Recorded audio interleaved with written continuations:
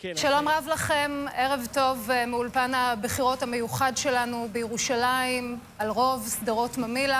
אנחנו כאן אה, מלווים את השידור המיוחד שלנו והארוך בשעתיים אה, הקרובות. בעוד שעה, בעוד ארבע שעות, יסתגרו הקלפיות ברחבי הארץ ותוצאות המדגם יזרמו לכאן, אל השולחן הזה. אבל אנחנו, האם זה יהיה נתניהו בפעם החמישית? האם זה יהיה גנץ בפעם הראשונה? גם בסוף הערב הזה סביר להניח שאנחנו עדיין לא נדע לענות על השאלה הזו. השאלה הזאת תישאר פתוחה גם בסוף הערב הזה, ואנחנו כאן, סביב השולחן הזה, בשעתיים הקרובות כאמור, עם פרשננו ועם כתבינו בשטח, שפרוסים בעשרות מוקדים, בעשרות המטות, שילוו את השידור הרחב הזה. ואנחנו רוצים לעבור אלייך, אה, ליאל קייזר, בוועדת הבחירות המרכזית, עם אה, עדכונים על אה, שיעורי ההצבעה נכון לשעה זו. נכון, מיכל, כמו שאמרת, השידור הזה רווי אה, אי-ודאות, זה ערב של אי-ודאות, אבל לפחות כאן הנתונים אה, מאוד ברורים. נכון לשעה 4 אחר הצהריים, שיעור ההצבעה נמוך יחסית, 42 אה, אחוזים ו-8 עשיריות האחוז מבעלי זכות ההצבעה יצאו עד לשעה 4 לקלפיות לממש את זכותם הדמוקרטית, וזה כמעט 3 אחוזים פחות מבבחירות האחרונות ב-2015. אמנם אין עדיין פילוח גיאוגרפי רשמי כזה או אחר איפה יצאו להצביע יותר, איפה יצאו להצביע פחות, אבל אנחנו כן שומעים שההערכה היא שהנתון הנמוך הזה מושפע משיעור הצבעה נמוך יחסית במגזר הערבי. שמענו מוקדם יותר שראש הממשלה נתניהו החליט אה, לבטל אירוע בחירות בגלל אה, טענה לשיעור הצבעה נמוך במוקדי הליכוד. כאמור, כאן בוועדת הבחירות המרכזית אין איזו אמירה כזו או אחרת לגבי המקומות הגיאוגרפיים שבהם שיעור ההצבעה נמוך, ולכן אה, לא ברור מהיכן מגיעה הטענה לשיעור הצבעה נמוך במעוזי הליכוד. כך או כך, יום הבחירות בינתיים עובר אה, יחסית בצורה תקינה. שמענו מוקדם יותר כאן בריאיון מיושב ראש ועדת הבחירות, השופט אה, חנן מלצר, שהוא כן שוקל אפשרות אולי אה, להתיר ספירה של פתקים של מפלגת כחול לבן, לאחר שבמהלך היום כן הותרו אה, במוקדים אה, רחבים, בפיזור גיאוגרפי רחב, פתקים של המפלגה שהיו אה, מושחתים בצורה כזאת או אחרת. האמירה היא שעל פי מה שזורם לכאן, מצד אחד היה פיזור גיאוגרפי רחב של פתקים משובשים שכאלה, מצד שני הכמות הייתה גבוהה יחסית, ומצד שלישי רואים את זה רק בפתקים של כחול לבן, ולכן המחשבה היא לבחון אפשרות כן להכשיר את הפתקים האלה. כך או כך, שיעור ההצבעה כאמור לפי שעה נמוך יחסית, אבל הקלפיות פתוחות עד השעה 10, אה, נסגרות פורמלית ב-10, אבל כמובן שמי שיהיה בקלפי לאחר השעה 10 יוכל להצביע גם לאחר מכן. אנחנו כן רגילים אה, לראות זינוק בשנים קודמות בין השעות 8 אה, ל-10, בבחירות האחרונות ב-2015 למשל, שיעור ההצבעה זינק בכמעט 10% בין 8 ל-10, ולכן העובדה שאנחנו בפיגור של כ-3% נכון לשעה 4, בינתיים לא מדאיגה כאן יותר מדי, מיכל. טוב, יש עוד ארבע שעות, אז uh, צאו להצביע. נשאר עוד מספיק זמן. תודה רבה, ליאל. אנחנו כמובן תודה. נחזור ונתעדכן uh, בהמשך בתמונת המצב. אנחנו רוצים להיות עכשיו uh, בסבב המטות שלנו, תחילה למטה הליכוד. מי שיש לו אולי הכי הרבה מה להפסיד בערב הזה הוא ראש הממשלה בנימין נתניהו, שיודע, הניצחון לא טמון בכיסו, ויואב קרקובסקי ותמר אלמוג. אתם שם, סביר להניח שבשעה הזאת די לבד, נכון? נכון, מיכל, אה, בהחלט כך. בשלב הזה עוד ריק כאן. לא לגמרי לבד, יש לנו נכון. אחד את השני, וצוות גדול מאוד של כאן 11. זה מצוין, זה אפילו... וצוותי תקשורת נוספים גם שמתחילים להגיע. אגב, גם הרבה עיתונות זרה, אין ספק. אה, אבל עכשיו ריק, ויואב, לא רק שריק כאן עכשיו, יש הערכה שיהיה ריק יותר זמן ממה שציפו, כי ראש הממשלה דוחה את ההגעה. אז אה, קודם כל צריך להגיד כמה דברים. אחד... אחד, אה, צריך להגיד, אה, צריך להגיד אה, כמה דברים. אחד, יש איזושהי תחושה, איזשהו ניסיון של ראש הממשלה לצייר תמונה של גוואלד. עוד רגע הולכים להפסיד את השלטון, שלטון הימין בסכנה, ולכן הוא גם בין היתר ביטל אירוע שתוכנן לליכוד באשדוד. בכנס ישיבת חירום של ראשי הליכוד כדי לנסות להלחיץ אותם לפעול. ישיבת חירום ששנה שעברה הייתה, בבחירות הקודמות הייתה בדיוק באותה שעה. נכון. אז uh, uh, הדבר הזה בעצם מת, מתקיים עכשיו על מנת לנסות להאיץ את הפעילים לצאת uh, ולהצביע מצד אחד. מצד שני, אני שומע ממפלגות הלוויין של הליכוד שה, שהאמירה שלכאורה... Uh, אה, אה, נתניהו נמצא באיזושהי נחיתות לעומת האחרים, היא לא נכונה. זאת אומרת, יש כאן ניסיון חד משמעי של נתניהו לבלוע מפלגות אחרות. זאת שנמצאת בסכנה גדולה ביותר היא אגב ישראל ביתנו על פי כל הידיעות. אגב, כמות ה fake news שרצה היום היא מטורפת. אחד הדברים... בוא נדבר, על ה fake news. fake news בעצם בעייתיים אה, אה, בכל מובן, בכל כיוון הם מגיעים. נכון מאוד. ועכשיו, אחת הידיעות ש fake news שרצות עכשיו ממש, מצטטות לכאורה ידיעה שאפילו אני שידרתי, אה, על, על מצבה של ש"ס. לא אמרתי מילה אחת על ש"ס לאורך כל היום, אז מי שחושב שיש ידיעה ששמי מצוטט שלכאורה ש"ס נמצאת בסכנה, לא נכון. אז הנה, זה fake news אחד. היה אבל עוד דבר אחד נוסף. אה, דוברו של ראש הממשלה, בנימין נתניהו, יונתן אוריך, פרסם בשעות הצהריים אה, תמונה שבה אה, רואים מעין ברושור, מעין פלייר של, של כחול לבן בערבית שמופנה לתושבים הערביים. ובו הוא אומר שיש פנייה אל השב"חים, אל שוהים בלתי חוקיים בישראל, שהם יפעלו אצל מצביעים אה, אה, ערביי ישראל על מנת אה, לקבל יותר זכויות לשב"חים. fake news מוחלט, רועי קייס שלנו עבר על הטקסט הזה, תרגמנו אותו באופן מלא, בינו לבין מה שיונתן אוריך אמר, מרחק גדול מאוד. מיכל, אנחנו עוד נשוב לכאן בהמשך כשיהיה כאן קצת יותר סואן. חזרה אלייך לירושלים. תודה רבה לכם. אז בשלב הזה כנראה שכולם מדווחים על הגעוואלד, כולם יוצאים עם אה, אותו קמפיין כדי להוציא כמה שיותר אנשים אה, ולהביא אותם אל הקלפיות, מי שעדיין לא החליט, מי שעדיין אה, לא הגיע לזה, אז זה הזמן. אנחנו רוצים להיות במטה כחול לבן, איתך רומי נוימרק, שם, גם שם, גם משם יוצאת איזושהי קריאת בהלה בשעה הזאת. אז במטה כחול לבן, רומי, חולמים להביא למהפך, חולמים להביא שינוי, אבל אפשר לומר שבערב הזה, בשעה הזאת, משק כנפי ההיסטוריה נראים די רחוק. תראי, השעה שש בערב, בערך בשעה הזאת אמורים להתכנס באמת אה, יאיר לפיד ובני גנץ לישיבת החירום שלהם, בסופה תופץ אה, הצהרה כאן לכלי התקשורת. אבל אם את שואלת איך זה מרגיש כאן אצלנו, במטה של כחול לבן בגני התערוכה, אני חושבת שחוץ מסכנה לשטיפת מוח בגלל הסלוגנים כאן מסביב, אה, אתם רואים כאן בעיקר עיתונאים, הרבה אנשים בחליפות. הצלחנו לדוג עבורכם כמה פעילים, אם זה מעניין אתכם לשמוע מאיפה הם מגיעים ולמה, אבל בפועל סביבנו בעיקר אנשי חליפות, עיתונאים, מאבטחים אה, ואנשי אה, הקמפיין הזה שמסתובבים בינינו. הנה אתם רואים כאן גם את, ה, אה, את חדר התקשורת של אנשי הרדיו. הכל כאן מאוד מאורגן ונקי ומסודר, ואפשר להתנחם. רועי שרון, ערב טוב גם לך. עד לפני כמה שעות זה היה גן אירועים, הייתה פה חתונה, רק היום בבוקר הקימו את כל הקונסטרוקציה הזאת שסביבנו, אולי גם במהירות כל הזבל של מערכת הבחירות הזה יצליח להתפנות. זאת הנקודה האופטימית שלי לערב הזה בינתיים. יש עוד, אה, כן, יש לנו עוד ארבע שעות עד שזה יהיה פה שיא האירוע עם המדגמים. גם אז לא בטוח שנדע מי ראש הממשלה הבא של אה, מדינת ישראל. בינתיים האווירה פה די סבבה, אין פה לחץ, את אווירת הגוואלד שקיימת, כמו ששמענו, אני מניח, בכל המפלגות, מקיר לקיר, הקטנות בטוחות שהן לא עוברות, מנסות להביא את הפעילים שלהן, הגדולות אומרות, אלה שותות לנו את הקולות כן. מה, מהצד השני, אז בשעות הקרובות יתחילו להגיע לכאן אה, בכירי המפלגה, נציגים של המפלגה. אין ספק שמה שאנחנו רואים עכשיו מאחורה עם הג'ינגל הזה שרץ פה והסלוגן הזה וקצת אה, אווירה כזאת מאוד אה, רגועה של אנשי תקשורת, זה הולך להתחלף, הולך להיות פה פיק מאוד קיצוני בשעות הקרובות, מפלגה ששואפת להיות מפלגת שלטון, להחליף, לנצח את ראש הממשלה הבלתי מנוצח נתניהו, הולך להיות פה מאוד מעניין. זה נכון, אבל בינתיים, מיכל, אם להיות כנות, בעיקר אוגרים כאן כוחות. אם את מחפשת את המקום המעניין באמת במתחם הזה, שאגב, היכל שלמה, שממנו אה, יואב קרקובסקי ותמר אלמוג אה, שידרו לך, הוא במרחק עשר דקות הליכה מכאן, אז שתי דקות הליכה מכאן, מטה האירוויזיון. ממש, המקום שבו נוכל לשדר לכם את אה, תחרות הזמר האירופית בעוד uh, כחודש. Uh, שם ממש מתוח. פה דוגרים כוחות לקראת המשך הלילה.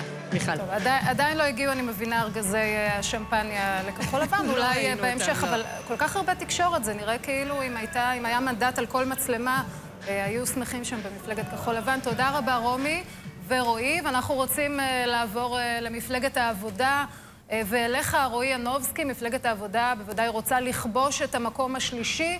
אה, יחשב הישג אם אה, יביאו איזשהו נתון דו-ספרתי, אבל אני לא בטוחה שאפשר להיות אופטימיים בשעה הזאת. רועי.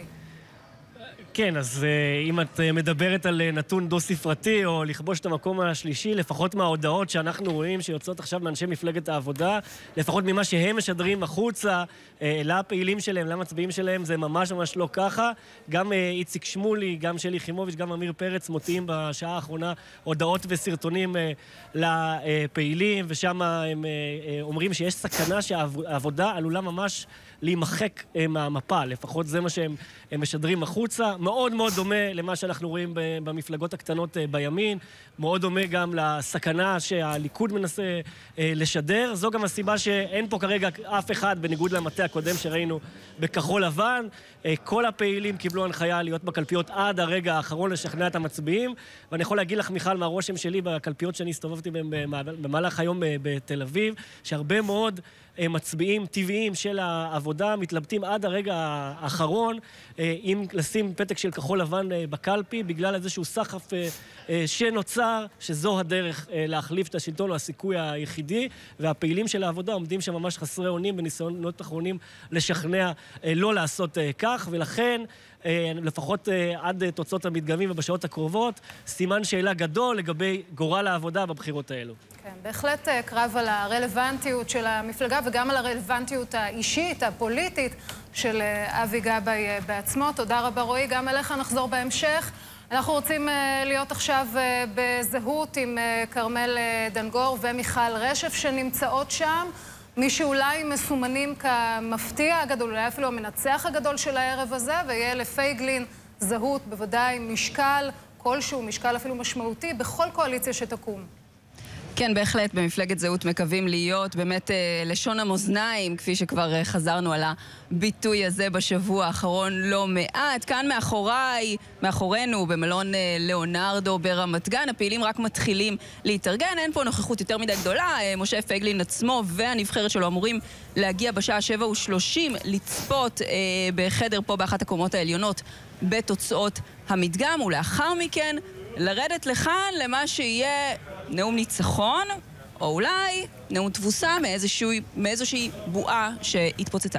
כן, אבל סביר יותר שזה יהיה נאום ניצחון, כי אחרי תקופה ארוכה שחשבנו שזהות בכלל לא עוברת את אחוז החסימה, בסקרים האחרונים היא מגיעה לחמישה ואפילו שישה מנדטים, ושוב מסומנת לא רק כהפתעת הבחירות, זו כבר לא הפתעה, אלא כלשון מאזניים אפשרית בקרב על הרכבת הקואליציה, והסיבה המרכזית לכך היא הלגליזציה של סמים קלים. זהות ממש נישאת על כנפי הלגליזציה. היא חרתה אותה על דגלה ואפילו מציבה אותה כתנאי סף לכניסה לממשלה הבאה, לצד תיק האוצר, וכזכור, פייגלין עדיין לא הצהיר, בכל אופן באופן פומבי, על מי הוא מתכוון אה, להמליץ לנשיא להרכבת הממשלה הבאה. נתניהו או, או גנץ, הוא לא הביע תמיכה פומבית באף אחד מהם. כן, מה שהופך אותו בדיוק להיות המטרה למפלגות הימין, שכבר לפי חלק מהדיווחים אומרות, זה או אנחנו או הוא. בכל אופן, הולך להיות פה ערב מאוד מאוד מעניין. מיכל.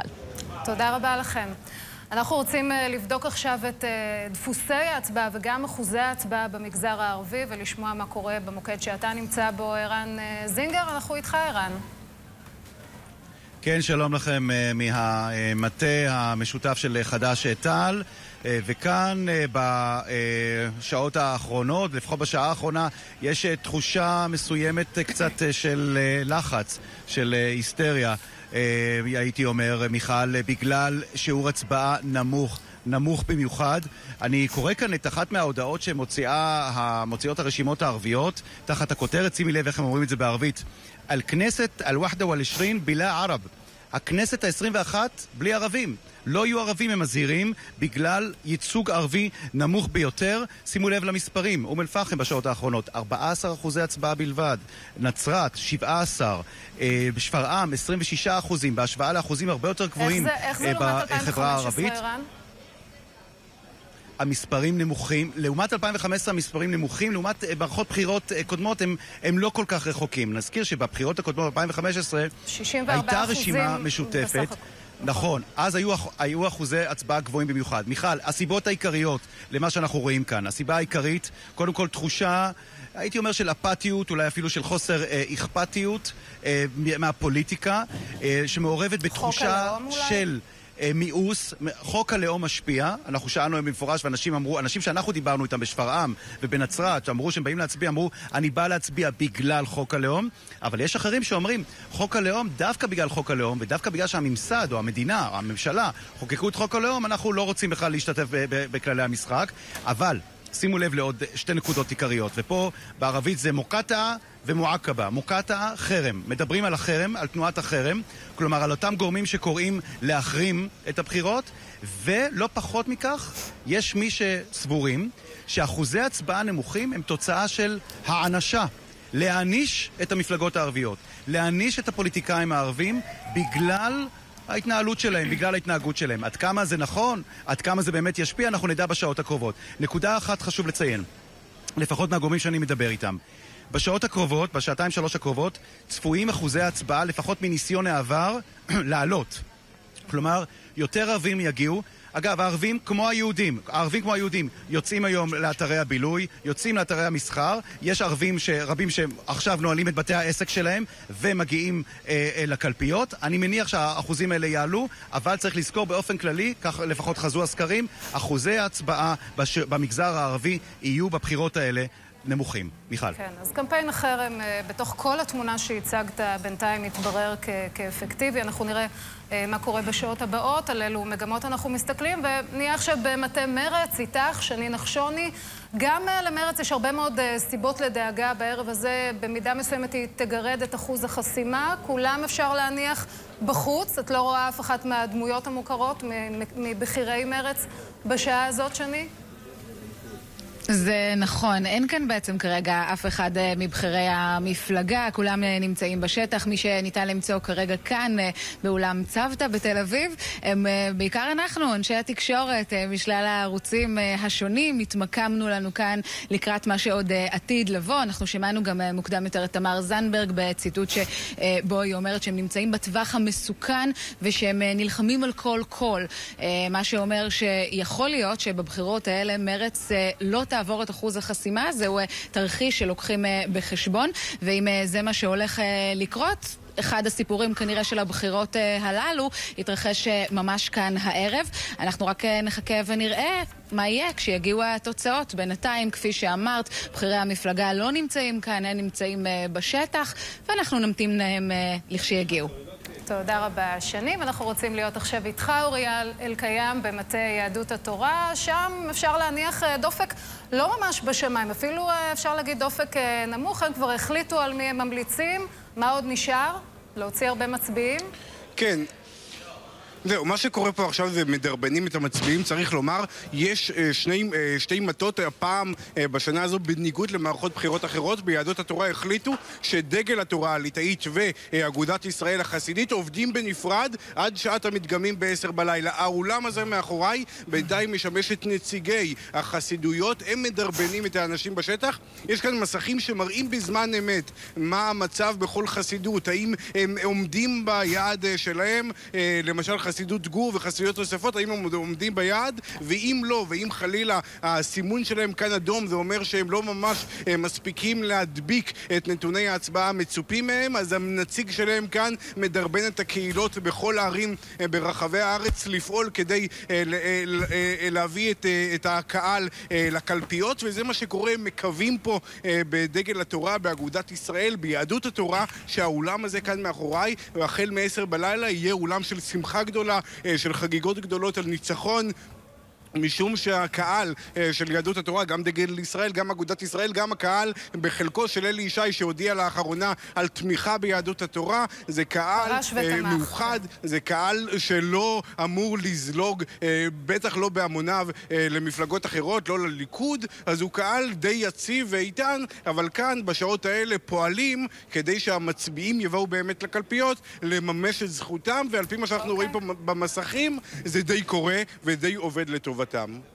טוב, אוריה, אז כבר הבהרת לנו שעל דבר אחד כולם מסכימים, כולם רוצים לחגוג, כולם רוצים לנצח בסוף הערב הזה. תודה. גם אליך נחזור בהמשך. עכשיו קצת אה, דיונים באולפן עם הכתבים והפרשנים שילוו את המשדר הזה שלנו. מיכאל שמש, נתחיל אולי איתך עם תמונת המצב של אחוזי ההצבעה, ומה זה עושה למפלגות הגדולות שכולם אנחנו רואים הולכים כאיש אחד אחרי נתניהו ויוצאים באותו קמפיין הצילו מצד אחד הולכים אחרי נתניהו, מהצד השני הולכים כנראה אחרי כחול לבן. אז אין ספק שבכלל כל מערכת הבחירות הזאת, שמאדירה שתי מפלגות, פוגעת מאוד במפלגות הקטנות, ויכול מאוד להיות שבסוף, למרות אחוזי ההצבעה, מה שיכריע את הבחירות זה דווקא מפלגות קטנות כאלו ואחרות, שכן יעברו או לא יעברו את אחוז החסימה. צריך לומר משפט אחד על מה שקורה לפחות uh, בליכוד. נתניהו, החל מהבוקר, זאת אומרת, היה הראשון לזהות את העניין הזה של הקמפיין גוואלד. הוא הבוקר שדרג את זה, מסתובב ברחבי הארץ עם השיירה שלו, יוצא עם מגפונים, קורא לאנשים לצאת להצביע, ובמקביל הוא גם מבטל כנסים, משדר כנסי חירום, אירועים מהסוג הזה. הכל באמת במטרה אחת, מיכל, לגרום לתחושת פאניקה בקרב, בקרב אה, מצביעי הימין. אני יכול להגיד לך שבנקודת הזמן שבה אנחנו נמצאים עכשיו, מיכל, אין מפלגה אחת שלא משתמשת בשטיק הזה של, ה, של הצילו, שהנה אנחנו הולכים לאבד את זה. באמת, כל מפלגה מאשימה את המפלגה השנייה שהיא שותה לה את המנדטים. הייתי אומר כך, יכול להיות שלפי מה שאנחנו רואים, לפי הקמפיינים שאנחנו רואים במפלגות, אני לא יודע איזו מפלגה כן עוברת את אחוז החסימה, ואיזו מפלגה כן תהיה בכנסת. אמרת, אני רוצה להתייחס למה שאמרת, אמרת שראש הממשלה היה הראשון לזהות, בסך הכל לא שלף כאן איזשהו שפן חדש. קמפיין הצילו, אנחנו זוכרים אותו גם מקמפיינים אה, אחרים, לא, לא רק שלו. לא שלף שפן חדש, אז אתה אומר, הוא מאוד הצליח, כלומר, זה אחד ההישגים שלו, אבל אפשר להסתכל על זה מהצד השני, שהם נכשלו בעצם העובדה שהם לא זיהו את מה שהוא זיהה. כן, נכון. אבל תראי, הוא, אתה כמובן שאת התוצאות אנחנו נוכל לדעת רק בערב, האם בסופו של דבר הוא הצליח להשיג את המטרה החשובה מבחינתו, אבל אין ספק שאת רואה שאפילו בכחול לבן, שכל הקמפיין שלהם היה לאורך כל התקופה אך ורק על זה שהם חזקים, על זה שהם מנצחים. בשעות האחרונות כבר עוברים לקמפיין אחר ואומרים, הנה, הנה, אנחנו הולכים להפסיד את הבחירות האלה, השעות הקרובות הן בהחלט קריטיות. בבחירות האחרונות נתניהו הצליח להביא בשעות הללו אה, באמת ציבור גדול מאוד של מצביעים, וכן להדביק ולסגור פער. אנחנו נראה אם הוא חוזר. צריך לומר מילה אחת על מה שהוא עושה ביממה האחרונה. לא הייתה כאן יצירתיות. הוא חזר באמת על אותם אירועים בשנת 2015, מערכת הבחירות ההיא. לא הבריא כמעט בשום דבר, למעט איזשהו סרטון קטן בבוקר, אבל מעבר לזה באמת לא היה כאן איזה שום דבר דרמטי. והוא חוזר, סתם דוגמה, לפני מספר אה, זמן קצר, הוא מכנס איזושהי ישיבת חירום. בדקנו, ראינו שבדיוק באותה שעה פחות או יותר, בשנת 2015 הוא כינס... ההיסטוריה חוזרת, זה, זה עבד בפעם הקודמת, למה שזה לא יעבוד עכשיו? אז ההצלחה שלו זה, ובעצם הכישלון של מפלגה גדולה אחרת שהולכת בקרב אה, ראש בראש במטרה לנצח בערב הזה. אפשר קצת לתהות ולשאול ולנתח, כי עוד ינותח בימים הבאים בהתאם לתוצאות. מה גורם לראש הממשלה לצאת לאותו מסע בערבות הימין אחרי זמן הפציעות, ממש ביממה האחרונה? וללכת על, ה, על הזנב של הגוש, לא על הראש של הגוש, ללכת על הזנב של הגוש, לקדש את גודל המפלגה. כלומר, לצמוח על חשבון הגוש. תראי, קודם כל זה קורה כי נתניהו יודע שזה מאוד יעיל, הדבר הזה, והעובדה גם שהוא לא מתחיל עם זה שבועיים, שלושה לפני זה, אלא רק ב photo finish, היומיים שלושה האחרונים, זה גם יוצר תחושה של אותנטיות. כלומר, אם אתה כבר אומר חודש שהמצב גרוע, אז בסדר, כבר הבנו את המסר הזה, הוא מוצע. העובדה שזה מגיע ברגע האחרון, כשהכול כבר הרבה יותר מחודד והרבה יותר דינמי, זה, אגב, תראי מה קורה, כולם הולכים בעקבותיו. כלומר, כולם גם מאמינים שמה שהוא עושה זה נכון, אז מחקים אותו. אני רוצה אבל להרגיע אותך, החתיכה האחרונה של הפאזל הושלמה בזה הרגע.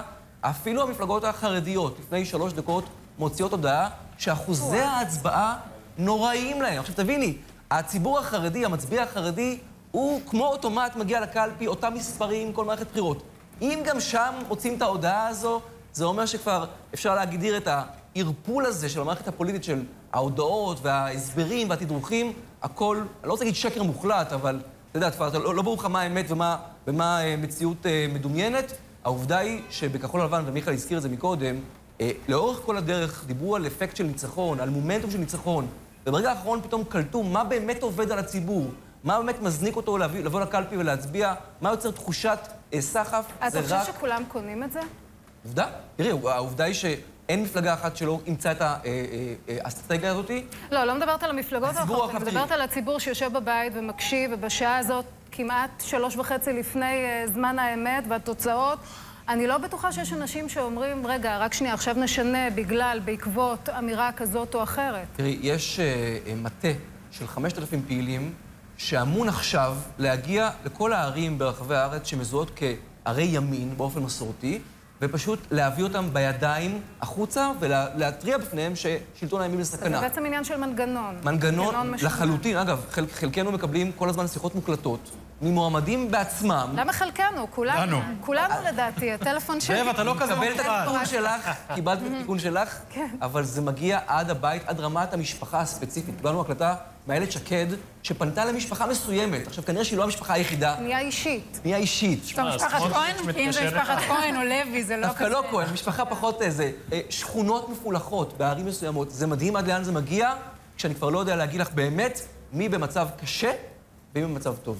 תשמע, זה הגיע למצב. שסמוטריץ' מתקשר כן. לחברה עפיף הערבית. אבו מוך, רק, רק אה, נציג אותך, עפיף אבו מוך, אקטיביסט, גם הייטקיסט, אה, שכמובן מנס... לא מהאקטיביסט. אוקיי, אבל אה, בסדר, זו חלטורה. כן, תשלים בבקשה. זה הגיע למצב שסמוטריץ' מתקשר לחברה הערבית. אני אישית קיבלתי 4-5 שיחות ממנו, השתכנעת, אגב? לא. מה הוא מנסה למכור לחברה הערבית? אה, נראה לי זה טעות. אה, לא יכול... טעות פעם אחת. טעות פעם בתרגות. שנייה, שלוש. אה, ליברמן מפרסם סרטון בערבית. לא, אני חושב אלי ש- אבידר... רק ליברמן מבין אלי ערבית. אב- לא, זה קשור לאלי אבידר, מועמד מספר 4 שלו, שהוא נולד במצרים. אבל מה שאתה אומר, אני חושבת בשורה... אמרתי לו, אם הגעתם למצב שאתם משחררים סרטון בערבית, סימן שמצבכם לכם בעיה. קשה. כן, אבל אני חושבת, עפיף, ש- שמה שאתה, מה שאתה אומר מאחורי הדברים האלה זה שנרדמו בשמירה כולם, התעוררו רק שנרדם עכשיו. הייתה בשמירה פנייה- עכשיו, לא מה ש- הייתה בכלל פנייה לציבור, למגזר הערבי. מה שעושה. נתניהו הוא הצגה אחת גדולה, זה לא כולם, גיבנת ולא כולם. בטיח, לא. הפספוס הוא של כחול לבן. וכל המפלגות, מי שקורא לעצמו שמאל מרכז, אולי חוץ ממרץ. אבל הפספוס הגדול הוא של כחול לבן. הם כל הזמן, וגם של אבי גבאי, שהוא שנה וחצי יושב ראש העבודה, הוא התנער מהחברה הערבית. הוא נזכר שיש ערבים רק לפני חודש, כשעמד על מספר חד-ספרתי של ה... במנדטים. כחול לבן, גב, אה, גנץ אפילו אין לו אומץ להגיד את המילה ערבים. עזבי אותך שהם הרכיבו רשימה, גנץ, לפיד, כל אחד פרסם 30 שמות. לפיד אין על מה לדבר לשבץ ערבי. אצל גנץ היה חשוב, אני אומר לך ממקור. ראשון, אצל גנץ היה חשוב שלא יופיע ברשימה ערבי שהוא מוסלמי או דרוזי או נוצרי, אלא שיהיה דרוזי. אוקיי, זה כל כך בוער להם, אני- השאלה עכשיו, כמה דרוזים יש? השאלה אם הציבור הערבי אה, מכיר את הנתונים שאתה מדבר עליהם עכשיו, ומה האינדיקציות שלך? אתה מגיע אלינו מבאקה אל-גרבייה, כן, נכון? היום אה, בשיעורי ההצבעה הצבעה. בחברה הערבית הם גרועים מאוד. למה? למה- למה זה ל-25. קורה? יש כאן, זה משולש. יש ה- משולש המורכב משלוש צלעות. צלע הראשונה, חוק הלאום. חוק הלאום הוציא את הרוח מהמפרשים אצל הציבור הערבי. הוא נותן להם תחושת האאוטסיידרים, בצדק. לא היית מצפה שיהיה... שאנחנו לא חלק מהמדינה, לא? חלק מהמשחק. הצבעה דווקא להפך. ההיגיון שגילי שזה בדיוק הפוך. הצבעת זה- בדיוק. אבל זה אני מסביר לך מה קורה בחברה הערבית. אז זה, אתם רוצים לשחק לבד, אז עזבו אותנו בשקט, אנחנו לא רוצים להיות חלק מזה. מה שלא קורה למשל בבחירות המוניציפליות, שהן תכלס אתה מצביע למשרד הפנים בעקיפין. אז כאן יש את זה לא חוק מסתדר. הלאום, בדיוק. יש את קמפיין החרם, שהיה די קמפיין אפקטיבי. החרם הוא סתם, הוא לא משפיע. נכון, יש את זה ברקע, אבל לא בגללו. לא, יש זה כמה סיבות. קמפיין חזק אני- ברשת החברתית, אמנם היו רק 3,000 מה חזק? לייקים, אבל זה זה שלושת עדיין... אלפים לייקים בפייסבוק. נו, אז- זה לא חזק. אז מאיפה מגיע הביטוי אבל הזה את לדפוסי ההצבעה? יש חוק הלאום, הסיבה השנייה, תחושת המיאוס אצל הציבור הערבי, אוקיי. מפוליטיקאים בכלל, מפוליטיקאים ערבים בפרט, והרצון להעניש, כפי שאמר אפילו ערן זינגר, שמתי לב, להעניש את הפוליטיקאים הערבים. גם כל ההתפרקות משותפת, ואז התאחדות וכולי. אבל אה, הסיבה הייאוש- השלישית זה מה ש... הייאוש מהפוליטיקאים הערבים, גם בגלל שהם לא מספקים. את הסחורה לציבור, בגלל שהם מרוכזים במאבק הפלסטיני. כעס גדול על הרשימה המשותפת, לא, גם, זה בנוסף. בכלל. הייאוש, בגלל שהם מרגישים שהם לא, לא חלק מהמדינה. אין את הקטע הזה של האינטגרציה. אתה רואה מה...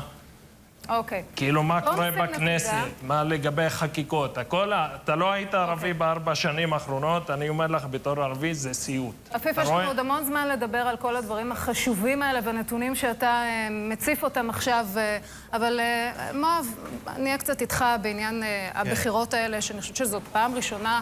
אה, פוטין, טראמפ, אנחנו רואים את ההישגים המדיניים של ראש הממשלה, איך הוא מגיע, איך הוא מביא את עצמו, אה, כמובן באופן לא מקרי, לקו הגמר הזה של מערכת הבחירות, אבל אנחנו גם רואים שבאמת מקבל הרבה מאוד רוח אה, גבית ממנהיגי המעצמות הגדולות. תגובות קצת בעולם? כן, אז קודם כל, באופן ישיר למה שאת אומרת, אחת הכותרות באתרים האמריקניים, היא אומרת שהישראלים הולכים לבחירות האלו על רקע הצל שמציל אה, דונלד אה, טראמפ, מטיל דונלד טראמפ, אה, צל במובן החיובי, על בנימין נתניהו לאור מה שאמרת, ההישגים המדיניים שנתניהו משווק כחלק מה, מקמפיין הבחירות. נדמה לי שהתקשורת העולמית ממוקדת בשאלה בעצם שגם אנחנו עוסקים בה. אני אתמצת את זה, כן ביבי, לא ביבי. זאת אומרת, גם בתקשורת העולמית מבינים שזה בעצם, חלק מכלי התקשורת פשוט מכנים זאת, משאל עם על נתניהו. זאת אומרת, בסופו של דבר, יש ירידה לרזולוציות אחרות, תכף ניגע בהן, אבל הם פחות מתעסקים עם כחלון, אם ליברמן יעבור אחוז חסימה, מה קורה בין העבודה למרץ.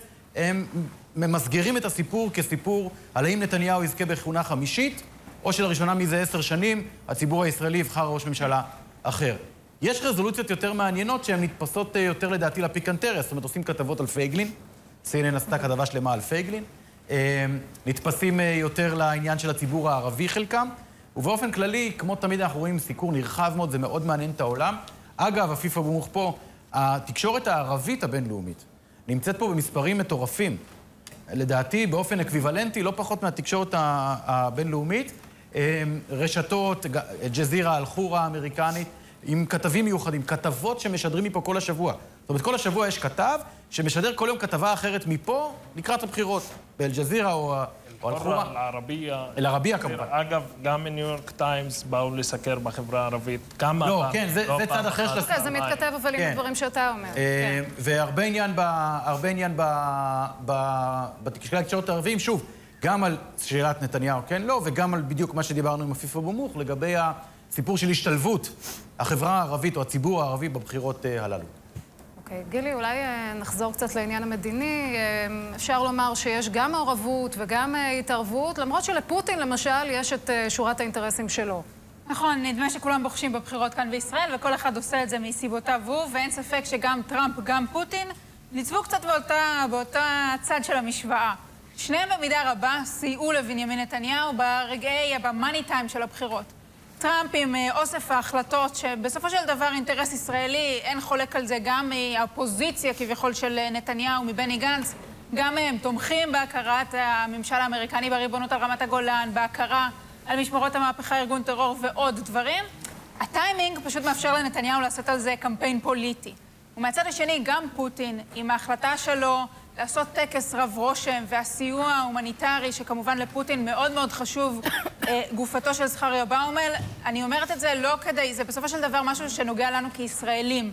פוטין, הצבא הרוסי, קבר עשרות אלפי חיילים אה, למיטב אה, זיכרוני, ובכל זאת יש פה אמירה קצת יותר אה, משמעותית. שני המנהיגים האלה תומכים בקמפיין של נתניהו, ב grand finale עושים דברים שמסייעים לנתניהו, ונתניהו מחבק את זה, משתמש בזה עד הסוף בקמפיין. קשה לטראמפ לקבל את גנץ ב- בקצב הזה. דווקא טראמפ, אה, את יודעת, זרק לו, זרק לו שזה אנשים נחמדים, פרגון אה. הקרב כן. צמוד, אולי הוא יודע. משהו שאנחנו... כן. שאנחנו עוד לא יודעים. Good guys או משהו, משהו כזה. בדיוק, זה- אבל כן. בסופו של דבר מה שמעניין פה זה שנתניהו מנצל את זה, זה בעצם היתרון הכי משמעותי שלו כרגע על המתחרים, אני המדינאי. אתם לא. לא הצליחו לסדוק את התדמית הזאת משום כיוון. גילי, תודה, עוד מעט נחזור אה, אל השולחן כאן. מי שעוד אה, ילווה אותנו לאורך אה, השידורים האלה, אה, פעם בשבוע עם תום אהרון. שלום תום, ערב טוב. מה המצב אצלך? ערב טוב לכם החדשות, איזה כיף, אנחנו כל כך מתרגשים להיות חלק ממשדר הבחירות המיוחד הזה איתכם. המוני ישראלים כבר יצאו לממש את זכותם הדמוקרטית לחזור לבית ספר שלהם ולבדוק אם השולחן שהם חרטו עליו, יניב המכוער, עדיין שם, והאם יניב עדיין מכוער. ועם סקר אחרון לפני המדגם, איתנו עכשיו הפרשן הפוליטי שלנו, גיא אדלר. ערב טוב לך, גיא. שלום, גיא. ערב טוב. אני כבר במתח, כולנו כבר במתח. בוא תספר לנו מה קורה. אז יום הבחירות, כולנו מתרגשים, ובוא וניגש עכשיו לאולפן המרובד שלנו. לא, לא, שנייה, בוא, עזוב, שנייה את האולפן המרובד. בוא נדבר, עזוב, לא צריך. יום בחירות, אחי, בוא נשתגע, בוא... בוא, אל לא, ת- פשוט תביא את הנתונים, אני לא, אני לא אוהב את הריקודים האלה, זה, לא- זה, זה סתם גרנדיוזי ולא... תגיד את המספרים ובוא נתקדם. יום בחירות, אחי, שפכנו פה ים כסף על גרפיקה. חייבים לרבד למקשת, הם שמים שני מיליון על האולפן בחירות שלהם, הצופים יברחו. אנחנו- בסדר, זה לא אומר שאנחנו חייבים לרבד, הכל טוב. בוא, אני לא, אבל, אחי, כולם מרבדים.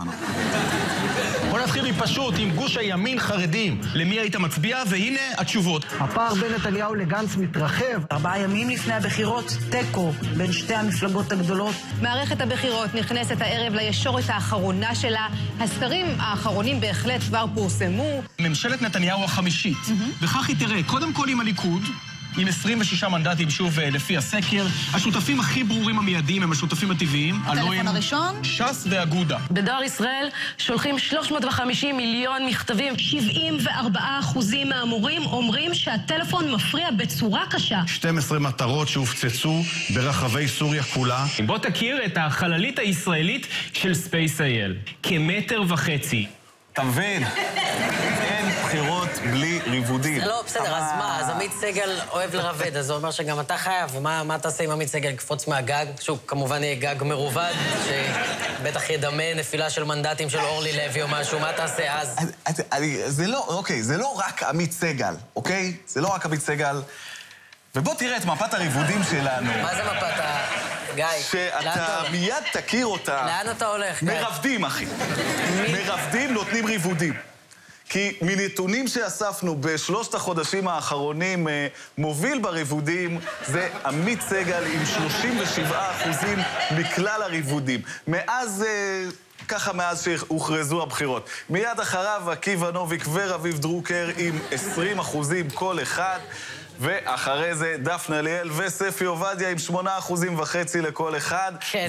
ומתחת לאחוז החסימה, מסתכלות על אחוז החסימה ככה מלמטה, זה איילה חסון ומיכל פעילן עם קצת פחות משלושה אחוזים לכל אחת. כן, אוקיי. בוא נלך, תום, אל הפאי עוגה שלנו, שם לא, לא. ניתן לראות כבר את מה- תמונת הגושים. לא, מה תמונת גושים? מה פאי עוגה עכשיו? די. פאי עוגה מה זה עכשיו. פאי עוגה?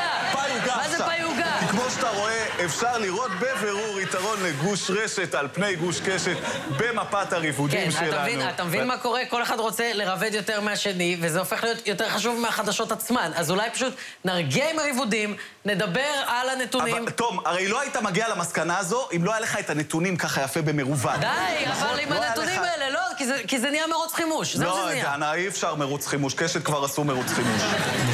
המשגרים על גבי משאיות כמו זו, ובתוך זמן קצר ניתן, ניתן להוציא ולשגר. דרך נוספת להסוות את המשגרים היא כמו באתר הזה בשירז.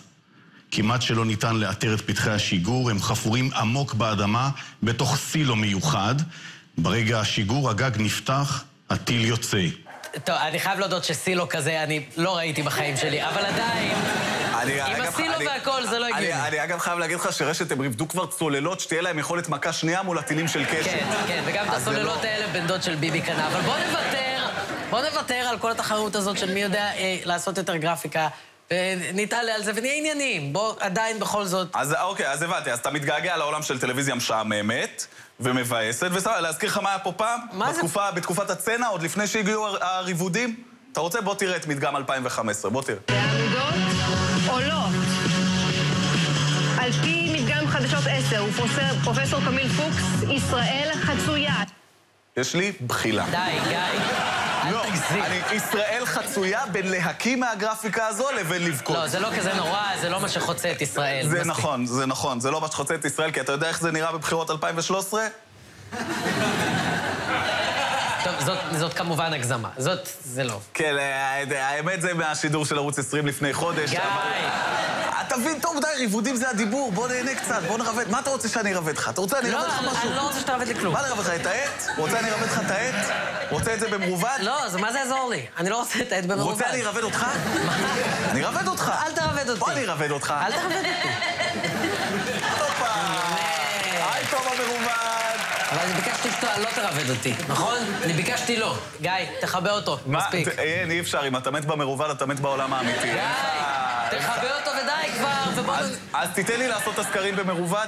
אוקיי, אני אתן לך לעשות... בסדר, אני אתן לך יאללה, לעשות. אנשים רוצים לדעת את הנתונים, יאללה, קדימה, ביי, בואו. הילד קקות. ביי, תום המרובד. אז בואו ונראה את אה, תוצאות הסקרים המעודכנות שהגענו כן, אליהן. בבקשה, תן לנו את זה. כן.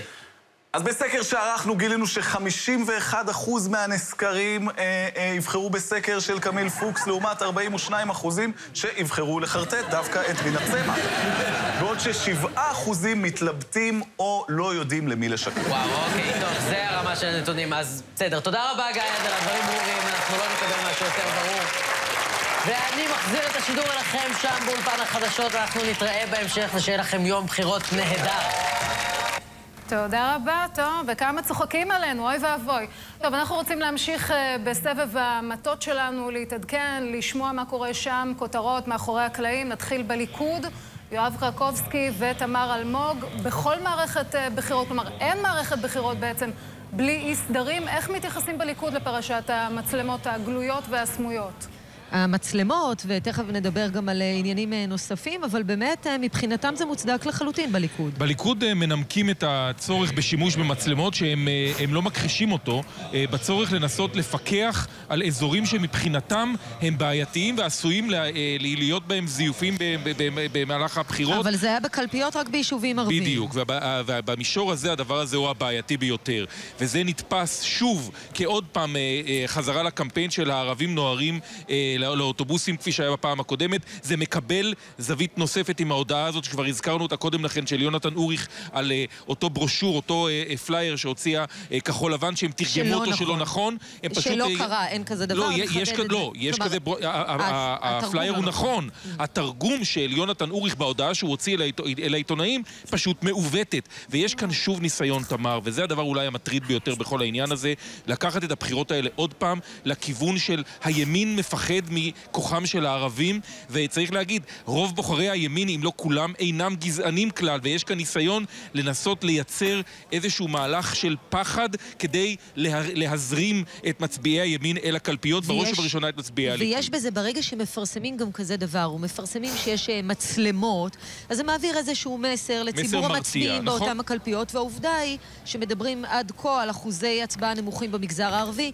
אז זה נכון. גם אה, חלק מהעניין הזה. עכשיו, מילה אחת לגבי אחוזי ההצבעה, אנחנו מדברים על משהו כמו 2.5-3 אחוזים פחות מהבחירות הקודמות. הבחירות הקודמות היוו שיא במספר המצביעים שהגיעו לקלפיות מאז 1999, כך שבכל מקרה, אחוז ההצבעה הוא גבוה באופן יחסי לשנים האחרונות. אנחנו בדרך כלל באיזשהו מין סוג של עלייה ליניארית. ב-99 היינו כמעט ב-79 אחוזים, כאשר לוקחים בחשבון ש-10 אחוז מהישראלים בכלל בחוץ לארץ, זה כמעט 80, כמעט 90 אחוזי השתתפות. אין כאלה מספרים בדמוקרטיות. בארצות הברית אנחנו מדברים על כמעט 50 אחוזי הצבעה של השתתפות בבחירות. הנה, מצאתי אומרת, נקודה אופטימית בבחירות האלה, משמעית, במערכת הבחירות הזאת משמעית, שהייתה הבחירות לא בישראל- פשוטה. הבחירות בישראל הן נחשבות לבחירות עם השתתפות גבוהה. אחרי זה ב-2001 הייתה צניחה ל-62 אחוזים, ומאז עלייה עד 72 אחוזים בבחירות הקודמות, כך שאני לא מרגיש, כמי שמלווה בחירות כבר לא מעט שנים, שיש איזושהי ירידה ברמת העניין רגע, במקרה הזה. רגע. השאלה את מי זה משרת, או, זאת שאלה או, זאת שעוד לא, הנקודה. שאי אפשר לדעת אותה. יפה, אז זאת הנקודה. אתה אומר, מה פת... אחוזי ההצבעה, סך כל שיעור ההצבעה הוא מרשים, הוא יפה, כל... באמת, כל הכבוד לאזרחים שמממשים את חובתם, אבל בשורה התחתונה, לא צריך את האמת כדי לומר נכון. שכל אחד, אגב, אם אנחנו מסתכלים מנ- בפלאפונים שלנו ובהודעות... כולם בלחץ. לא, אף מפלגה לא עוברת את אחוז החסימה לפי ההודעות, כולם פונים ללב שלנו. ויותר מזה, כן. אה, רומי נוימק ורועי אה, שרון נמצאים עכשיו בכחול לבן. שם, רומי, גם יאיר לפיד משדר לחץ גדול מאוד. עוד רגע, אולי הניצחון חומק. כן, יואב, שלום, ערב טוב לכם ממטה כחול לבן כאן בגני התערוכה שבתל אביב. כן, ראינו את הסרטון של יאיר לפיד אה, ועופר שלח שמדברים על הדקה האחרונה. אומרים, אל תאמינו לנתניהו, המרוץ הזה צמוד. אה, וגם עכשיו, ממש, עכשיו בני גנץ אה, משחרר סרטון נוסף שבאמת מראה לנו משהו על הלחץ שמנסים לשדר גם אנשי כחול לבן. למרות שאם אתם שואלים על מה קורה כאן במטה, הכל מאוד רגוע. עדיין אנשי התקשורת מתמקמים בכיסאות שלהם, מתכוננים ל- הערב הארוך שלפנינו, אבל אנשי כחול לבן כן מאוד עסוקים בלעשות רושם שהכל עוד פתוח והכל בעיקר מאוד מאוד מתוח. הדס גרינברג נמצאת כאן כבר שעות ארוכות. הספקת לראות גם את המסר החדש של בני גנץ? הספקתי לראות חלק קטן ממנו. בני גנץ אומר בפתח, בפתח דבריו, אני יוצא כעת מהחמ"ל והמצב מאתגר מאוד. מלבד זאת, הוא אומר, נתניהו מוציא את האנשים החוצה ואנחנו חייבים גם להוציא את כולם. זה אחרי במסגרת רומי הלחץ הגדול שלה, אפשר לומר השעתיים האחרונות, מיד לאחר סיום כינוס החירום בין בני גנץ ליאיר לפיד. כאן בחמ"ל שקרוב מאוד אלינו בגני התערוכה. אנחנו מדברים כל הזמן על הגוואלד של נתניהו, יש גם גוואלד בשעות האחרונות בכחול לבן. הם מאוד לחוצים שם, לא רק מאחוזי ההצבעה הנמוכים בכלל הארץ, גם מאחוזי ההצבעה הנמוכים במגזר הערבי, וזה משהו שהם שמים עליו דגש, הם מאוד מקווים שהוא ישתנה בדקות. בשעות הקרובות עד תום ההצבעה. כן, ואנחנו אולי צריך להגיד, ניזונות הרבה ממה שאומרים לנו כאן במטה, אבל כשהסתובבנו בחוץ, מעבר למה שסיפרתי לפני כמה דקות על המתח בעיקר במטה האירוויזיון הסמוך, אפילו יותר רציני ממה שיש כאן, גם בלונה פארק הסמוך נראה שיש עוד הרבה הרבה משפחות ואנשים שעסוקים בלעשות כיף שם ביחד וליהנות ממזג האוויר הנפלא. האם בסוף הבילוי המשפחתי באמת יגיעו קרוב לבית ויצביעו בקלפי? אני לא יודעת להגיד, אבל האם זה ישנה את תמונת המצב ואיך ייראה כאן הלילה הגדול הזה? האם הוא יהיה הלילה של כחול לבן? אנחנו נגלה את זה בעוד uh, שלוש וכמה שעות. Uh, עכשיו אנחנו למטה מפלגת העבודה ולמה שקורה שם. Uh, נמצאים uh, רועי ינובסקי ורינת ספיבק, שלום לכם. שלום, שלום רומי. אז כן, גם אצלנו אה, רגוע, כפי שאתם יכולים לראות, מטה אה, מפלגת העבודה כאן בנמל תל אביב אה, בינתיים נותר ריק. לא יודעת אם רגוע זאת ההגדרה, כי אני מניחה שהפעילים כרגע בשטח די בלחץ. אה, תכף רועי יספר לנו על אה, מעין אה, קמפיין הגוואלד שהם מנהלים, הנבחרת של מפלגת העבודה שמנהלת כאן. מה שכן ניתן לומר, התמונה שתהיה כאן הערב ככל הנראה תהיה מאוד מאוד שונה מהתמונה שאנחנו רגילים לראות במערכות הבחירות של מפלגת העבודה. בטח לא מה שראינו בשנת 2015, אז הם הגיעו ל-24 מנדטים, ורק בסקר האחרון של כאן חדשות הם הגיעו לשמונה מנדטים, מפלגת העבודה. זה לא מפריע ליושב ראש מפלגת העבודה ביום שבת האחרון לומר שמפלגת העבודה היא תהיה הפתעת הבחירות ב...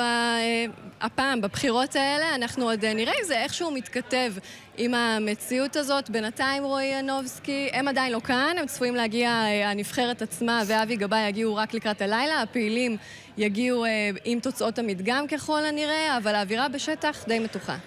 כן, אם אנחנו אה, היינו מדברים לפני כמה ימים, אז אפשר להגיד שהישג זה מספר דו-ספרתי של אה, אה, מנדטים, מדברים סביב הסקרים האחרונים, אבל מה שאנחנו רואים, כמו במפלגות אחרות, וצריך לראות את זה ברקע הזה, אבל מה שאנחנו רואים בשעות האחרונות זה את כל ראשי מפלגת העבודה עושים שני דברים. קודם כל, פונים במה שנקרא, באקט האחרון לפעילים שלהם ואומרים, צאו החוצה, כי אנחנו בדרך להימחק. ככה הם אומרים, ממש על גבול אחוז החסימה, אם מפרשים את זה ממה שהם אומרים, בגלל איזשהו סחף שהם רואים לכיוון כחול לבן של אנשים שמצביעים טבעיים של מפלגת העבודה. ודבר שני זה, הולכים על הראש של כחול לבן, על הראש של בני גנץ ולפיד, ואומרים, הם מנהלים כאן כרגע קמפיין שקרי, כאילו הם... כאילו פתק של מצביע טבעי של מפלגת העבודה שילך לכחול לבן, הוא יכול, יוכל להביא להחלפת השלטון. אם הקמפיין הזה יעבוד, הרי שאנחנו בדרך למצב שהעבודה תימחק, ואז כמובן שהשלטון לא יתחלף. אנחנו שומעים את זה מאיציק שמולי, כן. משלי יחימוביץ', מעמיר כן, פרץ. שתיית הקולות ההדדית הזאת אנחנו שומעים לאורך מערכת הבחירות, זה מתחזק לקראת הבחירות, לקראת היום הזה. וכעת אנחנו רוצים להתעדכן עם מטה מפלגת זהות, איתך, מיכל רשף וכרמל דנגור. כן, שלום רינת. אז uh, כאן uh, מאחוריי, במטה מפלגת זהות, במלון ליאונרדו ברמת גן, עוד לא מאוד מרגישים את התכונה וההתלהבות שהייתה מהמפלגה הזאת בשבועות האחרונים. הפעילים, כפי שאפשר לראות עכשיו, עדיין לא כאן, אבל זה כמובן ישתנה בשעות הקרובות, יותר לקראת פרסום תוצאות המדגמים. כאמור, uh, משה פייגלין אמור להגיע לכאן בשעה 7:30, כך גם יתר הנבחרת שלו, הם יצפו יחד במדגמים. אז ירדו לכאן למה שיהיה או נאום ניצחון של uh, מי שהיא הפתעת הבחירות, לשון המאזניים, איך שלא תרצו לקרוא לה, או uh, לחלופין, אולי, איזושהי uh, בועה שהתפוצצה, וצריך לומר שפייגלין קיווה מאוד, הסתמך מאוד על משיכת קולות דווקא מהשמאל, אנחנו מכירים אותו כאיש ליכוד, קיווה למשוך קולות מהשמאל באמצעות הלגליזציה של אה, סמים קלים, ובשבוע האחרון הוא הפך להיות מטרה של, אה, של הרבה מאוד קמפיינים שכוונו נגדו מימין ומשמאל. אה, קלטו שהוא מתחיל לעלות בסקרים ואולי יכול אפילו ככה לעבור מפלגות ותיקות. נכון, אה, כל מפלגות הימין בעצם חוששות ממשה פייגלין, ודי בצדק. הסיבה הראשונה היא שזהות פשוט מושכת אה, מצביעים משאר מפלגות הימין, מהימין החדש ומהבית היהודי. אה, הסיבה המרכזית לכך היא הלגליזציה, אבל לא רק. המצע של פייגלין מורכב משילוב של עקרונות שוק חופשי וצמצום דרסטי של מעורבות המדינה במשק, לבין איזושהי תפיסה מדינית. לאומית משיחית שבה מוסדות uh, המדינה כפופים להלכה. הסיבה השנייה היא שמשה פייגלין עדיין לא הצהיר באופן פומבי ולא הביע תמיכה באף אחד, לא בנתניהו ולא בבני גנץ, uh, כמי שימליץ עליהם לנס, לנשיא להרכבת uh, הממשלה הבאה. כן, ובאמת אה, אה, הוא לא, הוא סירב להזדהות אה, ככה עם אה, גוש הימין באופן אה, ספציפי, אז אולי אה, שווה לראות מה קורה שם, במפלגות הימין הקטנות, אה, אלייך שלי טפיירו עם איחוד מפלגות הימין.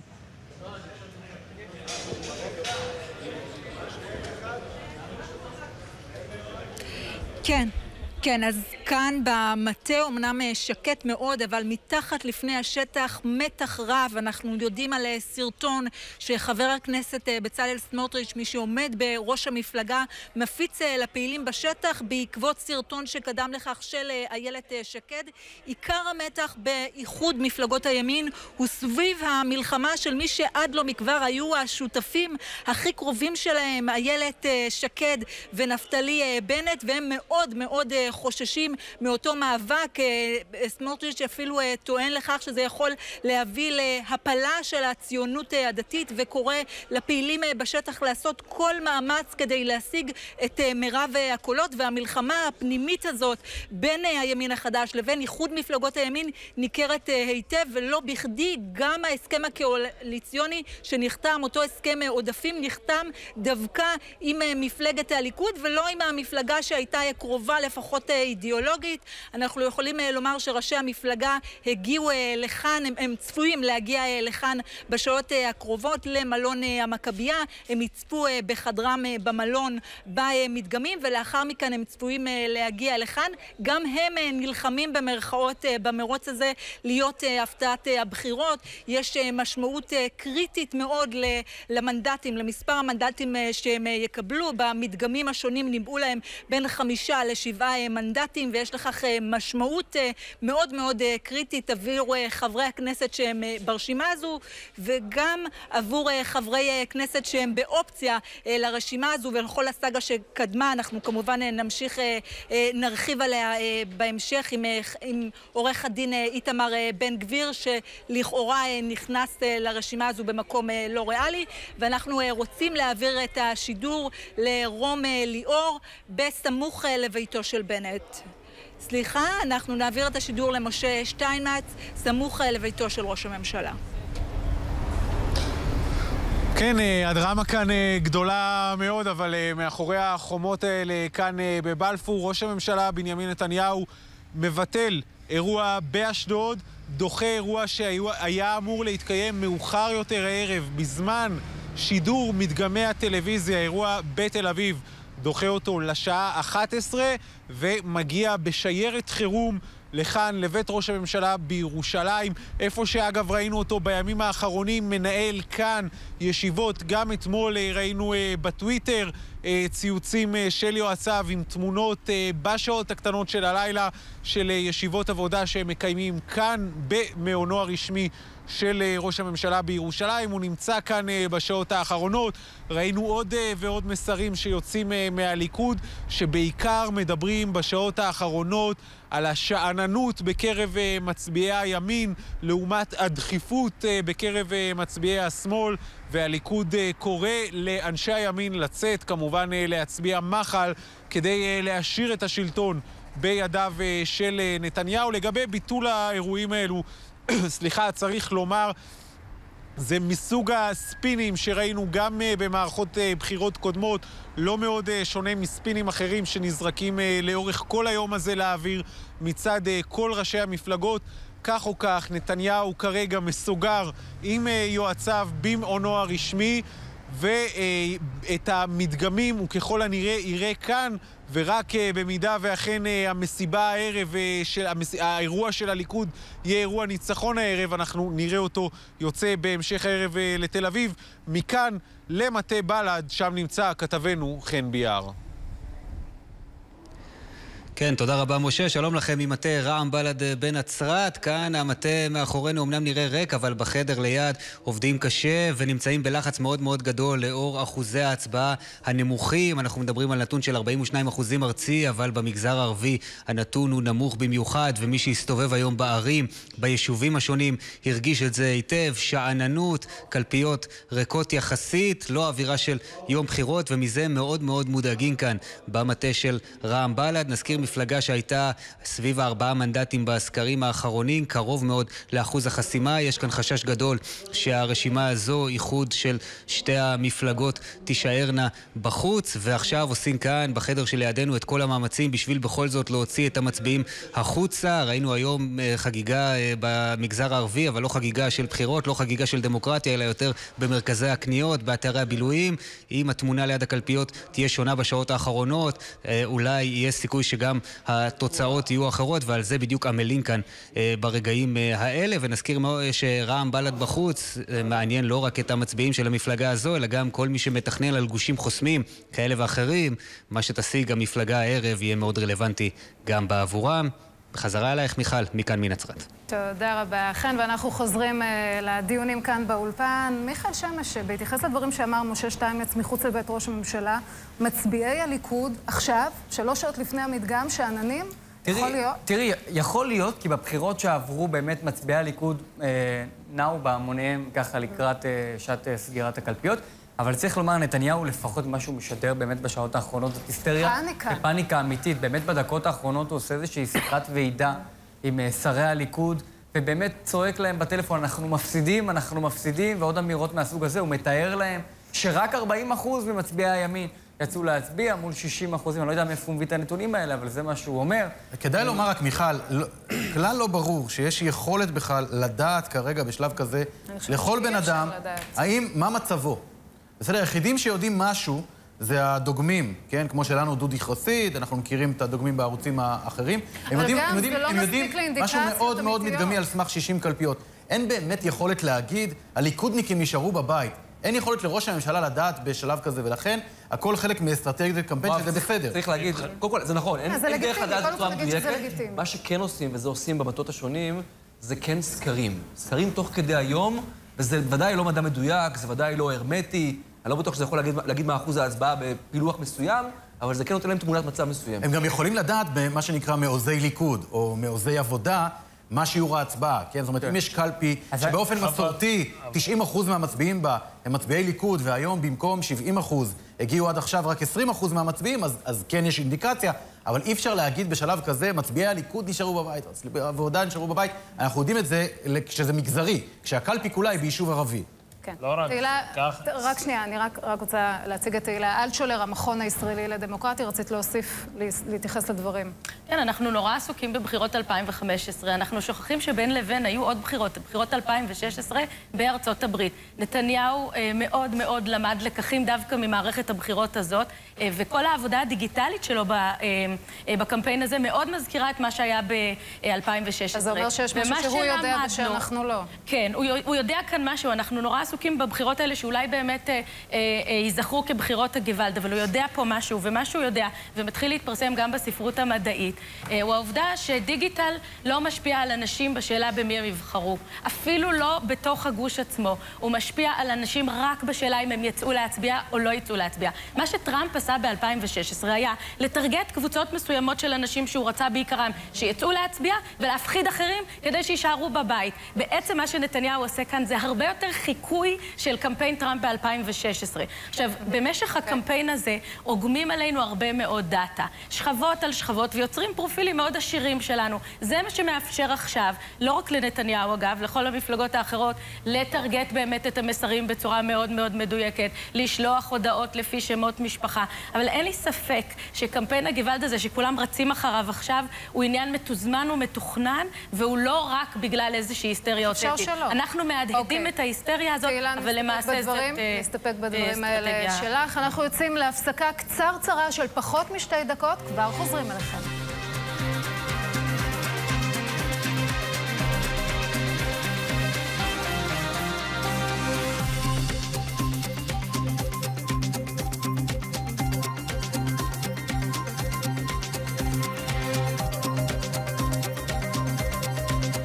זה אתה. וזה מוש, חבר שלך. לשניכם אכפת מהמדינה, אבל מוש אומר שצריך לעשות יותר. אתה אומר ברור, ברור, אבל הוא באמת מתכוון לזה. פתאום מוש אוסף חתימות, מוש מגייס פעילים, מוש מקים מפלגה. שלום, מדברת דריה מהמטה של מוש. למוש יש מטה, לך אין מטה, אתה לא מוש. מוש כורת בריתות, מוש הולך לבריתות. למוש יש מצע, מוש על חולצה, אתה לא על חולצה, אתה לא מוש. מוש מוביל את הגוש. אז לא, אתה לא מוש. אבל לך יש את הדרך שלך להשפיע. בתשעה באפריל אתה הולך להצביע. לא חייב למוש, הוא לא ידע.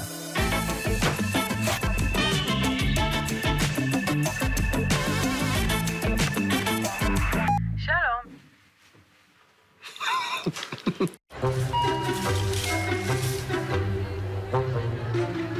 אמא, מה את עושה? יואבי! זה מלא סוכר. נכון, אתם פשוט אוהבים את זה. תחזירי אותי. ממי, כוכבים או חיות? לא זה ולא זה. אבא, זה אוכל מעובד. אבל קל להכין אותו? אז מי ישמור על הבריאות שלנו? גם זה לא? גם זה לא. בואו אחריי. מתקתקים עוף בתנור ועושים לי את היום. קטניות, רק תבחר. יש פה שפע נהדר, שתי דקות השקעה ויש סלט נפלא. הורים, לבחור בריא זאת האחריות שלכם. טרי זה בריא, אוכל מעובד, שמים בצד. למידע, למתכונים ולטיפים, חפשו אפשרי בריא ברשת. בתיאבון ו... לבריאות!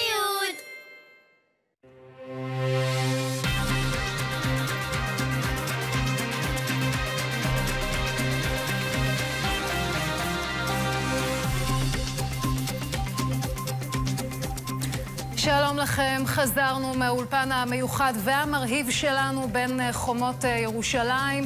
אנחנו רוצים אה, לפתוח במטה הליכוד, כבר אמרנו, מי שמגיע לערב הזה ויש לו הכי הרבה מה להפסיד יותר מכולם, הוא ראש הממשלה בנימין נתניהו. הניצחון לא נמצא בכיס שלו. עד לרגע האחרון הוא עושה את כל המאמצים להחזיר את המצביעים הביתה. שמענו קמפיין הגוואלד, קמפיין הבהלה של ראש הממשלה נמשך, הוא אה, מבטל אירועים, מבטל כנסים. יואב קרקובסקי ותמר אה, אלמוג, האם מגיעות סנוניות ראשונות של מועמדים בשטח, או שהגזמתי, כולם בחוץ? לא, לא, לא, מיכל. אה, ה- בעצם אנחנו נמצאים במטה הטקסי של הליכוד. אה, המטה האמיתי נמצא בבלפור. שם יושב ראש הממשלה בנימין נתניהו עם היועצים הקרובים המאוד מאוד מאוד ספורים שלו, כי ראש הממשלה בנימין נתניהו הקפיד תמר ומיכל בקמפיין הזה, להיות בעצמו ראש הממשלה, שר הביטחון וראש קמפיין הליכוד. זה לא חדש, ריכז- הוא פשוט, אה, יש יותר קמפיין ולכן יש יותר נתניהו. נכון, נכון, ו- והוא מאוד בולט בו. בפעם הקודמת היו גם כמה אנשי מקצוע לצידו, הפעם הוא ויתר על כל אנשי המקצוע, לקח את היועצים הקרובים הצעירים שלו, ואיתם הוא הולך, יחד עם הסוקר שלו, שגם אותו הוא חשף אתמול, במסגרת אותו קמפיין גוואלד. זה, הוא משדר, נתניהו, מי שמכיר את ראש הממשלה, כל נים שזז, שרואים בפניו, יש לו משמעות, הוא יודע, הוא באמת מבין בדברים האלה. הוא לא בכדי רצה לשדר שיבינו, שיראו עליו שהוא נראה באמת מודאג, נכון. כדי להביא את המצביעים. וזאת המטרה, בעצם לשדר את הלחץ הזה על מנת להזניק את המצביעים שנמצאים בבית. אני לא בטוח שהנתונים שהוא מחזיק בידיים, או הוא מדבר. עליהם, מדויקים. יכול מאוד להיות שבשורה התחתונה המטרה היא תמיד לגדול יותר. תמר, אני מספר לך משהו בספוילר, גם כאשר התמודד בפריימריז על הנהגת הליכוד מול משה פייגלין ודני דנון, שלא היה להם סיכוי לנצח, יצא בסרטוני גוואלד, עוד רגע אני מפסיד את הנהגת הליכוד. אז נא לא להילחץ, כנראה שהנתונים מעט שונים ממה שנראה בסופו של דבר בעשר בערב ואחר כך. כן, זה מתקרב אלינו. תמר ויואב, תודה רבה לכם אה, ממטה הליכוד. במטה כחול לבן אמרו במהלך כל היום הזה, אנחנו ממש מטר מהניצחון, עכשיו קצת משנים את האסטרטגיה ומצטרפים ומשדרים גם הם אה, לחץ. רומי נוימרק, רביעיית כחול לבן, יודעת שמשק כנפי ההיסטוריה, כפי שאמרנו בתחילת המשדר, עדיין רחוק בשלב הזה. שלום מיכל. בוא נגיד בעדינות שהם מצפים כאן שההכרעה תגיע בבוקר ולא מוקדם יותר כפי שאולי ניסו לשדר uh, בתחילה.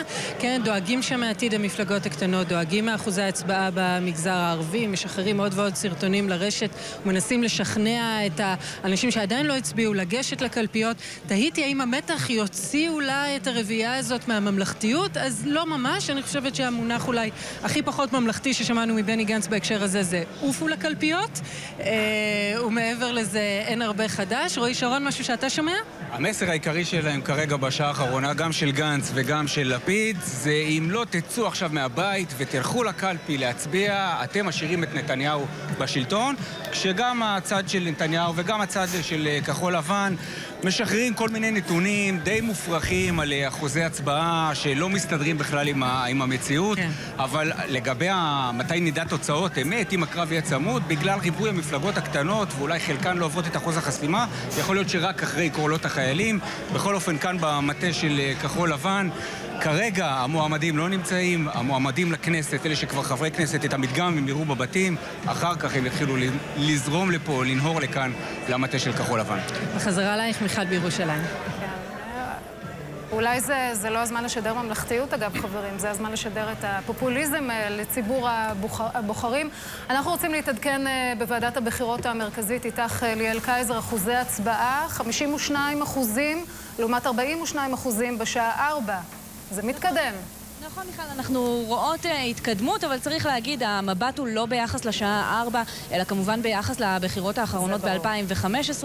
כמו שאת אומרת, נכון לשעה 6, 52 אחוזים מבעלי uh, זכות ההצבעה, כלומר יותר משלושה מיליון ישראלים יצאו לממש את זכותם הדמוקרטית, יצאו לקלפיות, וזה לעומת 54 אחוזים ו-6 עשיריות האחוז ב-2015, כלומר שוב, כמו בשעה 4, פער של כמעט 3 אחוזים במספר ההצבעות. מעבר לזה, זה המסר שמשדרים בוועדת הבחירות המרכזית, הוא שיום הבחירות, נכון לשעה זו, עובר בצורה אה, מוצלחת, ללא אירועים חריגים. אנחנו כמובן שמענו אה, גם על אירועי המצלמות בקלפיות במגזר הערבי, גם אה, דיווחים על השחתת פתקים של מפלגת כחול לבן, אבל כך או כך אומרים לנו ותיקי הוועדה, למרות האירועים האלה, בסך הכל מדובר על יום בחירות רגוע יחסית, והם כמובן מקווים שכך יימשך. ראינו בשעה האחרונה את מפכ"ל המשטרה שהגיע לכאן, את מבקר המדינה יוסף שפירא שעזב ממש לפני דקות, הם הגיעו לשמוע כיצד מתנהל היום. על פניו הדברים מתנהלים כסדרם נכון לעכשיו, מיכל. עניין המצלמות, אגב, הוא לא עניין כזה רגוע, אולי תלוי את מי שואלים, לא יודעת, לפחות בעיניי. נכון, הם, אה, לפחות מבחינת אה, מספר האירועים והתקריות, הם אומרים, בסך הכל היום הזה עובר כסדרו, כמובן שהמשמעות של האירוע הזה היא חמורה. כן, והיא נחקרת. תודה רבה, ליאל. תודה. אל השולחן הזה הצטרפו בדקות אה, האחרונות ירון דקל. שלום, ערב טוב ירון. מוטי גילת פרשננו. ערב טוב. טוב. ושלום גם לכם, זאב קם, מיכאל שמש, גילי כהן, כתבתנו המדינית, ומואב ורדי, ראש תחום החוץ. ואולי תחילה אליך, אה, ירון. ב-72 השעות האחרונות, ושמעתי גם אותך מתייחס לזה, ראש הממשלה סיפח שטחים, פינה את ח'אן אל-אחמר וגם חילק קנאביס. נכון. אלו הבטחות בחירות שלא צריך להתייחס אליהן, אז למה כן? אני, אני uh, מייחס, מתייחס בספקנות רבה לכל הבטחות הבחירות של כל המועמדים כולם ב-48 השעות האחרונות. מה שלא עשו בקמפיין, לאורך הקמפיין, או בעשר שנות uh, ראשות ממשלה ושלטון הליכוד, לא יעשו ב-48 השעות האחרונות, ולכן אני מציע להתעלם מזה. אבל אני רוצה לגעת בנקודה אחת שהיא כן דרמטית, שמתרחשת uh, לנגד עינינו, ויכולה להיות לה השפעה רבה. יש קמפיין היסטריה מכל הכיוונים. מרץ והימין החדש, ומפלגות uh, ערביות, ומפלגת העבודה, וכחול לבן, ונתניהו והליכוד. וליברמן. נכון, אבל... מי לא? יש מדד אחד שהוא לא תלוי מפלגה, והוא הסוקרים שעושים את המדגמים, שרואים שבמגזר הערבי ההצבעה מאוד נמוכה. ולכן אני אומר כך, אם שתי המפלגות הערביות לא עוברות את אחוז החסימה, אין סיפור פוליטי והוא נגמר. אין סיפור פוליטי והוא נגמר, כיוון שהגוש הימני יזכה מיד לרוב. כרגע המצב הוא כל כך נמוך. שאפילו אחת מהן לא תעבור. לא, אחת, אחת, אז יכולה גם לא לעבור בגוש הימני אחת או שתיים. אני אומר כך, אם שתי המפלגות ואחוזי הצבעה כאלה נמוכים כרגע, שגם סוקרים, גם הסוקר שלנו וגם סוקרים בערוצים אחרים אומרים שדבר כזה עוד לא נראה. אם, קודם כל הכנסת תהיה נטולת ייצוג ערבי למעט uh, חבר הכנסת עיסאווי פריג' במרץ. אבל זה אומר שמשחק הגושים הסתיים, ובנימין נתניהו הוא ראש הממשלה הבא, אם שתי המפלגות הערביות לא עוברות. ירון, אתה יכול... וזה דרמטי. ירון, אתה יכול לדמיין תרחיש שבו שתי המפלגות הערביות לא עוברות, וליברמן לא עובר, וזה באמת אה, סיטואציה שהיא... מי שחוקק את החוק. שמונע... נכון, ועדיין לנתניהו יהיה גוש יותר גדול, לגוש חוסם, לגוש חוסם, לא לשותפות בממשלה. גנץ צריך שהמפלגות הערביות לא ימליצו על נתניהו, ואם זה לא קורה, אז יש לנתניהו. יותר מזה. וזו מגמה שאנחנו רואים שככל הנראה גם תימשך. כן, הסקרים? האחרונים אומרים שכדי שגנץ יגרד את הסיכוי, הוא חייב את רע"מ בל"ד בפנים. גם אם רק רע"מ בל"ד לא עוברת, קשה מאוד לראות סיכוי לגוש חוסם של גנץ. צריך להסביר את קשה מאוד למה, לראות, אגב. גם אם חד"ש-תע"ל נכנסת. נכון, מסיבה פשוטה, כי מלכתחילה גוש השמאל-מרכז יותר קטן באופן בסיסי גוש הימין, ולכן אם שם מפלגה אחת לא עוברת, לא משנה מי, הסיפור גמור. מפלגת ימין שלא תעבור, היא עדיין חלק מהרבה מפלגות אחרות, והגוש פחות ניזוק, ולכן זה דרמטי. ואת זה רואים גם בכחול לבן. בהחלט. זו, זו הסיבה לבהלה אולי האמיתית שלהם. לא במקרה מדברים כבר עכשיו על האפשרות של ממשלת אחדות לאומית. עם נתניהו, בניגוד לכל ההכרזות, בתנאי אחד, שנתניהו ברגע שיוחלט להגיש נגדו כתב אישום, אחרי השימוע, אם וכאשר, לא יעמוד בראש הממשלה. ייצג את הליכוד אדם אחר, שייבחר כמובן בליכוד, יפתח מלחמה בתוך הליכוד, זה סיפור אחר.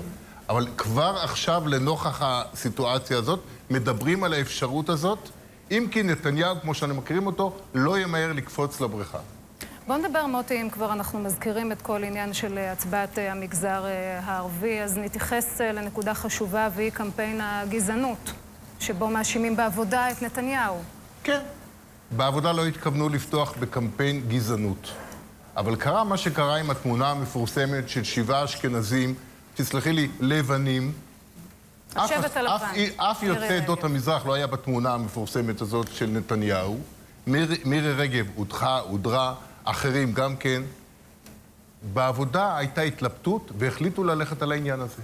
אגב, באמת במקרה. ופתאום קלטו שהסיפור הזה תופס. יש להם נתונים. הם טוענים אפילו שהם הרוויחו יותר ממנדט. הם נתונים שביבי בגלל האלה. הגזענות הזאת, סיפור הגזענות הזאת, איבד מנדט וחצי. עכשיו, מה אומרים? אומרים לי, מוטי, תראה, כל מערכת בחירות ביבי הצליח בכישרון רב לתפוס את השמאלן התורן, להכות בו, להגיד, הנה הגזען, זה וזה וזה, ולקשור אותו בכיכר העיר, לגרום לכך שכולם, או אנשי הליכוד, ירוצו, יגנו ויתמכו בליכוד.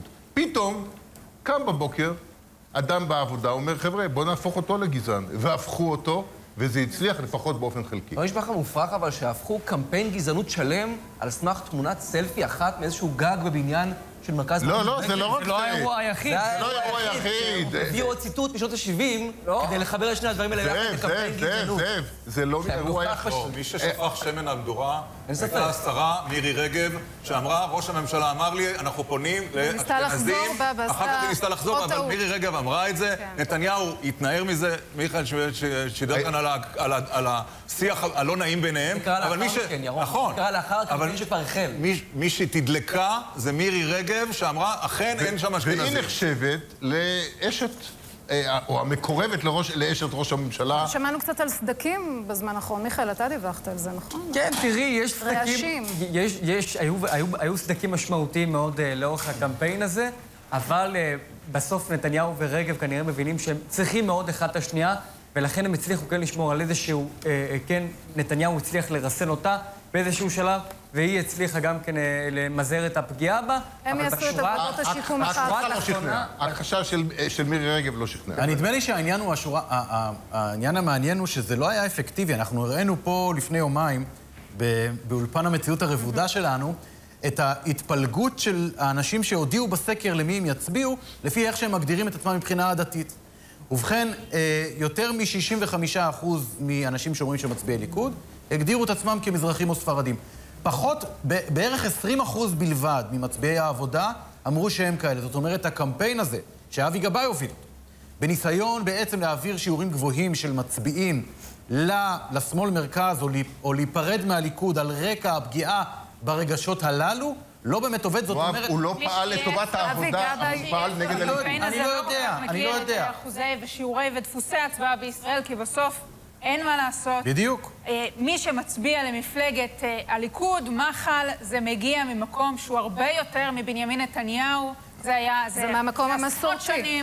זה, מה, זה אפילו, אפשר לומר, זה עניין אפילו דורי, מעמדי, וכן, גם מזרחי. לא חושבת שקמפיין אחד, 15 שניות בטוויטר או בפייסבוק, ישנו דפוס הצבעה כל כך. יחד עם זאת, צריך לומר משפט אחד בהמשך למה שגילי אומרת, המותג נתניהו הוא היום לא פחות חזק מהמותג ליכוד.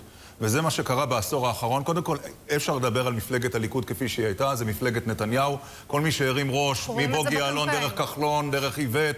אה, מקרי. לא, כל מי שהרים ראש, לא שם. המותג נתניהו הוא מותג חזק מאוד, והוא לפעמים יכול להאפיל. תשימו לב לקמפיין של הליכוד, לא כתוב ליכוד. נתניהו, מנהיג הימין. הליכוד בקטן. זה לא היה לנו בבחירות קודמות, כי המותג נתניהו הוא מאוד מאוד חזק וצריכים לא להקל בראש. אנחנו זוכרים, אנחנו... זה ההיערכות לכתב האישום, שבלי נתניהו אין ליכוד? אה, יכול להיות, אה, אין ספק שגם כתב האישום נמצא ברקע ואנחנו נדבר על עניין כתב האישום כי זה לא היה במערכת הבחירות, כולם העדיפו להתעלם מכתב האישום, כולל כחול לבן, כולל לא מפלגת העבודה. לא, לא, העבודה כן. לא, כן טיפלו בנושא הזה. לא, ברגע האחרון. התחיל קמפיין חלש. אנחנו שכחנו שהיה אירוע גדול עם מנדלבליט לפני שבועות לא רבים במערכת הבחירות. אולי זה ההישג הכי גדול של נתניהו, אגב, זה שכתבי האישום כבר נדוש ונידון תקופה מאוד ארוכה, גם שם הבינו במחנה השמאל מרכז, שלהמשיך לטפטף את העניין הזה, זה כבר ממאיס אותו על אף אחד לא עשה בזה שימוש. נכון, זו הסיבה. זה אגב, מהחלטה מודעת לא נעשה בזה שימוש. חד משמעית. מנדלבליט לא היה חלק ממערכת הבחירות ב-2019. חד משמעית, למרות שנתניהו קיווה שהוא לא יגיד, בסוף ראינו שהוא אמר, ולא קרה עם זה שום דבר בקמפיין. כן, אבל, אבל, אבל אפילו יותר מזה. זאת אומרת, אה, נתניהו הצליח לייצר תודעה כזאת, ירון, שעברו הרבה מאוד מתומכיו, בוחריו גם בליכוד, כתב האישום הוא לא לגיטימי, הוא חלק ממסע רדיפה. זאת אומרת, גם אם השמאל, מרכז, הכחול לבן היו משתמשים בזה בקמפיין, הם לא, הם לא סתם לא השתמשו בזה כי זה לא נדבק. כי עבור אנשים שמתלבטים עבור נתניהו, לא השחיתות uh, מדאיגה אותם, או לפחות מואב, לא זה מה שגורם השימוש להם... השימוש הוא לא במקרה, ההחלטה של uh, כחול לבן לא להשתמש בעניין הזה, היא נובעת מהחלטה של יאיר לפיד, שהוא מיודד עם ארנון מילצ'ן, הוא מיודד עם נוני מוזס, אין לו עניין להציף את תיקי אלף, אלפיים וארבעת אלפים. לא, אין לו את אלפיים, הוא היה יכול לחתוק על אלף. לא, לא, לא, הרבה נוח, הרבה יותר נוח באמת היה להציף את תיק הצוללות, שגם נתפס יותר ככה חמור. מוטי, בוא נדבר, בוא נדבר רגע על אה, מפלגת העבודה. אה, שמענו את אבי גבאי אה, מכוון לאיזשהו נתון דו-ספרתי. זה בכלל בא בחשבון? זה ריאלי? על פי תחושה של אנשים במפלגת עבודה שדיברתי איתם היום. עסקינן רק בתחושות, אבל יש להם גם סקרים פנימיים. יש להם גם סקרים פנימיים. הם לא במצב טוב. הם מודאגים מאוד. הם מודאגים שהם ירדו לשבעה ואולי שישה מנדטים.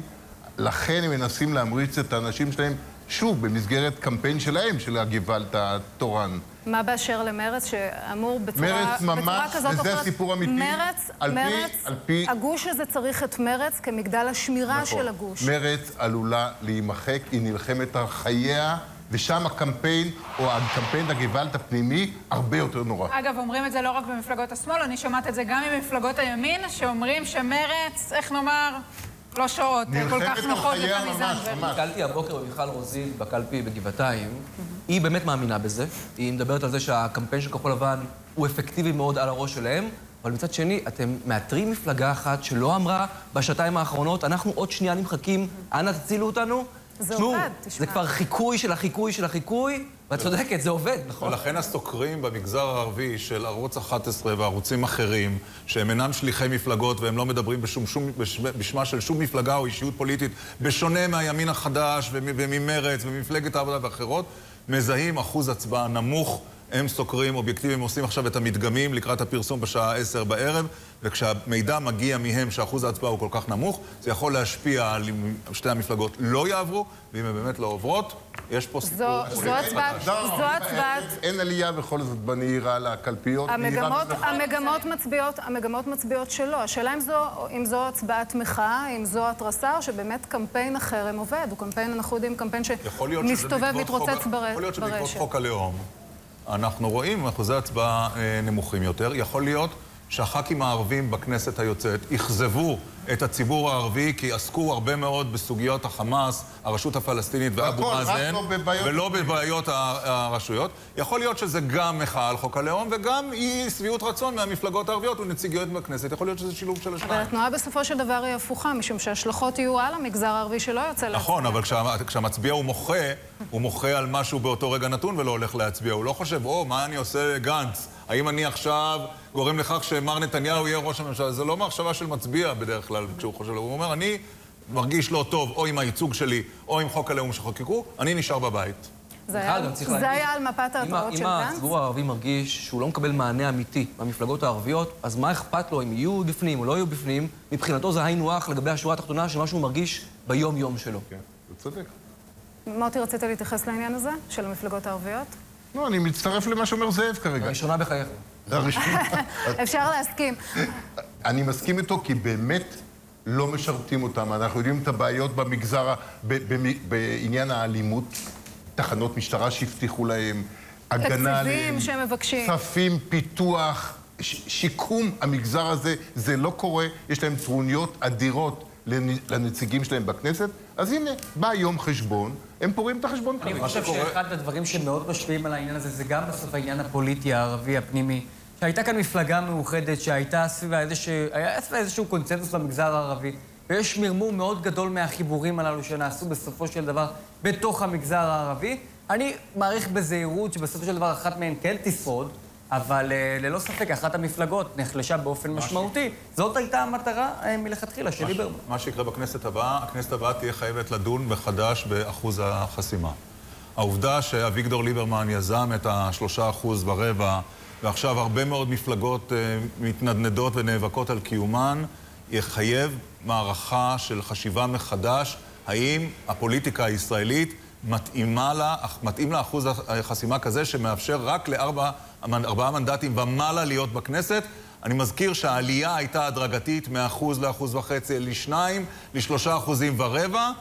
ברור שאלה שיעברו, לא יהיה להם אינטרס להקל על אלה שלא עברו.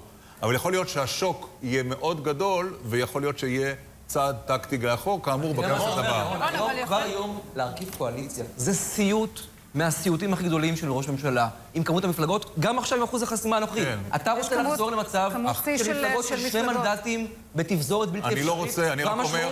אני רק אומר שהסחטנות שיגלה מרכיב הממשלה תזכיר לו את שני המנדטים. ולכן, מי שחשב שלא תהיה סחטנות עם ארבעה מנדטים, יקבל סחטנות בריבוע של. של, של. שלא תיארנו לעצמנו. ולכן אין הבדל בין הסחטנים של שני מנדטים לאבו ארבע הסחטנים של ארבעה מנדטים. אין שום ספק אני שהממשלה הקרובה. הנוכחית שתהיה, היא תהיה ממשלת הסחיטה הלאומית. כל באמת... ולכן ראש הממשלה רוצה לבוא. לכן ראש הממשלה רוצה לבוא כמה שיותר חזק למלחמת לכן הסחטנות, לנתניהו לתוכנית לא הסחיטה אכפת הזאת. שאחת המפלגות מהמגזר שלו, מהקבוצה שלו, תיפול... הוא רוצה, מה זה לא אכפת? הוא מעוניין...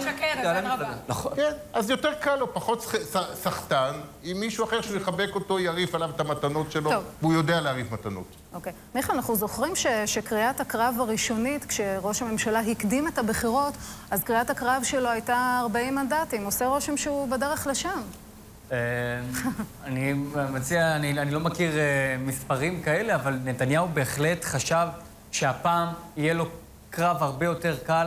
חשב, הוא לא, בוא נאמר, הוא לא תיאר לעצמו שכל ה, כל האיומים הכי גדולים שהוא ניסה לברוח מהם כל הקדנציה, ובגללם לא הקדים את הבחירות, הוא לא תיאר לעצמו שהכל ככה יצטרף והכל ישחק נגדו. הוא בהיבט הזה באמת מוצא את עצמו מול אופוזיציה משמעותית, מול אופוזיציה, מול אה, מפלגה משמעותית וחזקה שנותנת לו fight, והוא באמת, באמת, צריך לומר, ההיסטריה שנתניהו משדר עכשיו, היא במידה מסוימת, במידה מסוימת של צדק, בהתחשב בכך שהוא עבר מערכת בחירות לא קלה, וההתמודדות שלו גם עם המפלגות הקטנות בגוש הימין, אמרת- וגם עם כל מה שקורה, התמודדות מאוד מאוד... כן, אמרת, מפלגה חדשה שרק לפני אה, חודשיים אה, הוקמה, בא לשכונה בחור חדש, כבר קיבל 30 מנדטים. אנחנו רוצים לשמוע מה קורה עכשיו במטה כחול לבן. רומי נוימרק, אנחנו איתך. איפה נמצא גנץ, או בכלל, איפה, נמצאת, אה, איפה נמצאים הרביעייה? איפה נמצאת הרביעייה עכשיו? אה, אנחנו נשאל את מי שבטוח יודע, איתי בן חורין, היועץ האסטרטגי של כחול לבן כאן אה, לצידנו. שלום לך, אדוני, ערב טוב. ערב טוב. אז איפה הרביעייה? שואלים מהאולפן בירושלים? הרביעייה עכשיו עושים סיורי קלפיות אחרונים ומנסים להעיר את הציבור כי הציבור חושב כנראה שזה יום שבתון, שאפשר להיות בים, בקניונים הייתם בים, הייתם בקניונים לחזור, חזרתם הביתה עכשיו לצאת להצביע אחוזי הצבעה מאוד מאוד נמוכים משרתים את נתניהו זה מה ש... ואנשים זה אותו לא דבר מה שאומר מתעוררים. נתניהו, מילה במילה. יכול להיות שפשוט שניכם הולכים על אותו מסר בדיוק, תתעוררו, אחרת הצד השני מנצח? אני חושב שהאמינות של אה, נתניהו והאמינות של כחול לבן אה, לא מוטלת בספק מי יותר אמין לאורך הזמן והוא עושה את אותו תרגיל שהוא עשה בעבר אבל הנתונים שלנו מאוד מאוד ברורים אנשים לא יוצאים להצביע תראה, ראיתי את אנשים הסרטון נשארים- של גנץ. אנחנו רואים ראיתי את אנחנו הסרטון רואים של את גנץ. שמדבר אלינו כמו באמת במבצע צבאי, עופו לקלפי, דברים כאלה. אולי זאת באמת השעה לצאת מהממלכתיות שניסיתם ל- ל- לשדר במשך החודשיים האחרונים ולהישמע קצת יותר תקיפים. זה באמת רגע האמת. רגע האמת. כל מי שלא רוצה שנתניהו שיהיה ראש ממשלה, שסמוטריץ' יהיה שר חינוך, צריך עכשיו לקחת את עצמו וללכת להצביע. יש- יש אחרת מחר, אחרת. אחרת יתעוררו מחר בבוקר ויגידו, יש לכם "אה, נתונים היה אמיתיים? לי קשה. יש לכם נתוני הצבעה במעוזים שנחשבים חזקים של כחול לבן? כן, הם לא מספיק גבוהים. אנשים או מתפנקים, או מצביעים אתה למפלגות... יודע במספרים? לתת אנחנו אחוזים? יודעים שהמספרים לא מספיק גבוהים. אנשים... נתניהו טוען 60 אחוז ה- במעוזים שלכם, 40 אחוז במעוזים של הימין. זה לא נתונים נכונים. אנשים לא מספיק הולכים להצביע, ואנחנו שומעים על יותר מדי אנשים שמצביעים למפלגות קטנות. צריכים להבין, אם לא נהיה המפלגה הגדולה ביותר, נתניהו נשאר ראש הממשלה. וזה רגע האמת. מי שלא יעשה את זה עכשיו, בשעתיים שנשארו, מחר יתעורר למציאות, ויגיד, וואו, איזה באסה שלא הלכתי להצביע, או שהצבעתי למפלגה קטנה, שאו לא עבור, או לא- שלא תעבור את אחוז החסימה, או שלא תהיה לה שום השפעה. אנחנו תגיד- פה לא בקרב על האופוזיציה, אנחנו פה בקרב מי ירכיב את הממשלה הבאה. באולפנים וגם בשיחות הסלון מתחילים לדבר על תסריטים אפשריים של ממשלת אחדות. בוא תנסה לתאר לי מה התסריט שיכול להוביל את מפלגת כחול לבן, אנחנו- לשבת, לחלוק ברוטציה מסוימת עם אה, מפלגות אחרות, מפלגת הליכוד. בני גנץ ושאר המנהיגים אמרו בצורה מאוד ברורה שלא יושבים נתניהו, מחליפים את נתניהו. וזה אה, נמשיך ולדבר גם אחרי, אחרי המדגמים. אחוזי ו- הצבעה ואחרי כאלה זה התוצאות. באמת, אה, לא הצבעה בהכרחי. הם יכולים, להשת... הם יכולים להשתנות, יש עוד שעתיים. אנשים חזרו עכשיו, היה יום יפה, זה נחמד, בקניונים, בים, הכל סבבה. אפשר לקחת, עצמ... לקחת, אנשים צריכים לקחת את עצמם ולצאת להצביע, אלא אם כן, הם רוצים להישאר עם אותו מצב. אבל כל מי שרוצה שינוי, יש עוד שעתיים וחצי, ושעתיים וחצי, בפעם הקודמת, אני מזכיר לכם, בפעם הקודמת, נתניהו בשעתיים האחרונות הביא לשינוי. אם עכשיו, בשעתיים האלה, מחנה השינוי, אנשים שרוצים להחליף נתניהו, יצאו מהבתים, הם יצליחו לעשות את זה. גיא, מה, מה הלו"ז שלכם לערב? ראשי המפלגה, הרביעייה, הם צופים במדגמים, בבתים שלהם, כל אחד בביתו, ואז יבואו לכאן. מתי יתחיל פה, מתי נראה פה את החגיגה שאתם מבטיחים? כל המועמדים שלכם, 1 עד 30 או יותר אפילו. ולמה אנחנו לא רואים אותם כאן עכשיו, אגב, בכל זאת? לא ראינו אף אחד מהרשימה שמסתובב כאן. לא, למה? לא מסתובבים פה, הם מסת- הם מסתובבים בשטח, הם מסתובבים בקלפיות. אנחנו צריכים שאנשים יישארו בקלפיות עד רגע האמת. היו היום הרבה ניסיונות לזיופים, להרס אה, פתקים, הגשנו לזה גם עתירות. זה דבר שהיה כל היום, אנחנו נשאר עד השעות הקטנות, לוודא שכל ההצבעה הולכת כמו שצריך, ואני מקווה שנהיה פה בחגיגת ניצחון. זה תלוי רק בשעתיים הקרובות. מה שהיה עד עכשיו פחות משמעותי. השעתיים הקרובות זה שעתיים שבהם יוכרעו הבחירות, כמו בפעם שעברה. והפעם אנחנו צריכים שהתרגיל של נתניהו לא יעבוד, אלא שהציבור הישראלי יאמר את דברו. יש, יש לנו עוד הזדמנות לשאול אותך, עכשיו אמנם אנחנו לא יכולים לראיין את המועמדים עצמם, אבל כן הייתי רוצה להבין בשעה הזאת מה הדבק שמחבר בין כולם, חוץ מלהחליף את בנימין נתניהו. ישראל לפני הכל. זה אוקיי. הדבק. הדבק זה אנשים שבאים באמת מימין אנחנו גולשים פה ומשמאל. שאלה שאלה, אז אני עונה. אז רק, אז רק לסיום אני אגיד שבאמת...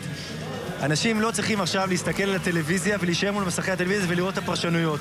עכשיו זה הזמן להשפיע, לשנות את המציאות, לקחת את עצמם. שעתיים וחצי זה מספיק זמן כדי להביא לשינוי. אם יעלו אחוזי ההצבע- ההצבעה, יהיה פה לילה אתה מעריך שמח. שבערב ב-10 במדגמים נדע מי ראש הממשלה הבא? אני חושב שאם עכשיו אנשים יצאו להצביע ונהיה המפלגה הגדולה, אם העם יאמר את דברו... מפלגה גדולה זה לא מספיק. אם העם יאמר את אוקיי. דברו ותהיה פה מפלגה גדולה, שום כוח בעולם לא יעצור את זה. איתי בן חורין. תודה רבה, יועץ אסטרטגי. של אה, כחול לבן, חוזרים אליכם לירושלים. תודה רבה לכם במטה כחול לבן. אז כפי ששמענו, ואפשר להניח שהקרב הוא לא רק קרב בין אה, ראש הממשלה נתניהו לראש, אה, לבני גנץ, אלא הקרב הוא מי מביא יותר עכשיו, יותר מצביעים אליו. אנחנו רוצים להיות במטה הליכוד, גם שם עושים אה, מאמצים אחרונים. תמר אלמוג ויואב קרקובסקי.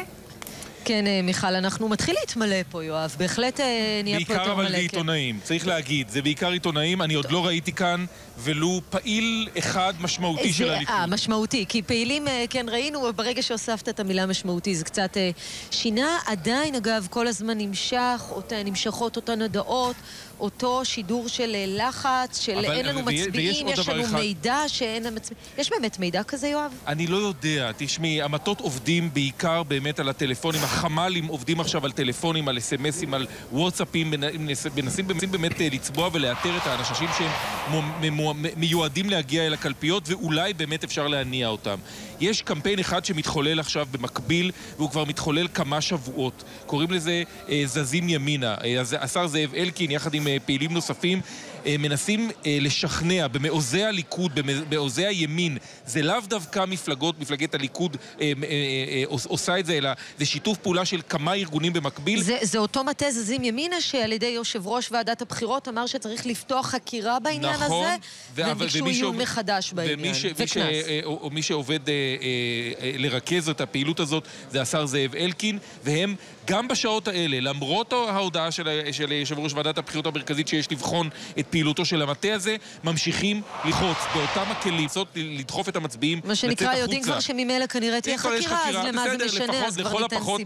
אה, אם, אם, אם נוצר כבר מנגנון, ננסה לנצל אותו. אם יש מנגנון, למה לא לשלוט בו, לצורך העניין. הלחץ הזה הוא לחץ אה, מאוד מאוד כבד. לפחות שם רואים את השר זאב אלקין, אנחנו בקמפיין הזה, הזכרת את זה קודם, אה, יואב, ראו בעיקר את ראש הממשלה בנימין נתניהו, כמעט כל האחרים העלימו אותם. האם היה ניסיון, למשל, שלא יהיה קשר בין דברים שפחות הצליחו בממשלה האחרונה לבין הפנים של שרים מהליכוד? תראי, אה, אה, כל הזמן בנימין נתניהו דיבר על אה, במקום שבו אתם רואים פקקים, אני רואה מחלפים, כדי לנסות להציג באמת פעילות מאוד ענפה שעשתה הממשלה הנוכחית בקידום התחבורה מצד אחד. מצד שני הגיע דוח מבקר המדינה החמור מאוד על נושא התחבורה, בראש ובראשונה על רכבת ישראל. ישראל ושפך מים צוננים מאוד אה, על, על הפעילות הזאת שאי אפשר להתכחש לכך שהייתה פעילות מאוד רחבה, אולי התכנון היה קצת בעייתי.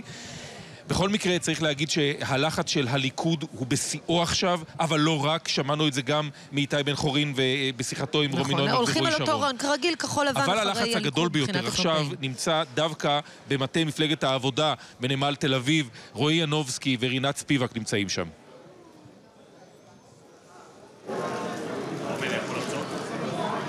מאמצים אחרונים לגייס קולות, זה בדיוק אה, תמונת המצב שקורית מן הסתם גם כאן במפלגת העבודה. אפילו אפשר לומר שיש כאן סוג של פאניקה. חלק מהנבחרת שאנחנו אה, מדברים עימם מספרים לנו שהם נעים אה, בין החשש של אפילו לא לעבור את אחוז החסימה לבין האופוריה שמשדר אה, יושב ראש המפלגה, שהם אה, עשויים לסיים את הערב הזה עם מספר דו-ספרתי של מנדטים. אגב, במצב הרע שלהם הם מאשימים את כחול לבן מן הסתם, במשתה כפי שהם מכנים את זה. ורועי ינובסקי, יכול להיות שתהיה כאן דרמה הלילה. כן, בהתחלה זה היה נראה כמו הקמפיינים האחרים שראינו, שראינו במפלגות הימין הקטנות או במקומות אחרים, זה היה נראה אה, כאיזשהו לחץ כדי להוציא את, את המצביעים החוצה, וגם אה, כדי אה, בעצם לעצור אולי סחף שאנחנו לא יודעים אם קיים או לא, מכיוון מצביעי עבודה טבעיים לכחול לבן. אבל ככל שאנחנו מדברים פה, גם עם האנשים שפה... עכשיו זה נראה אמיתי. זה נראה לנו לפחות ממה ש...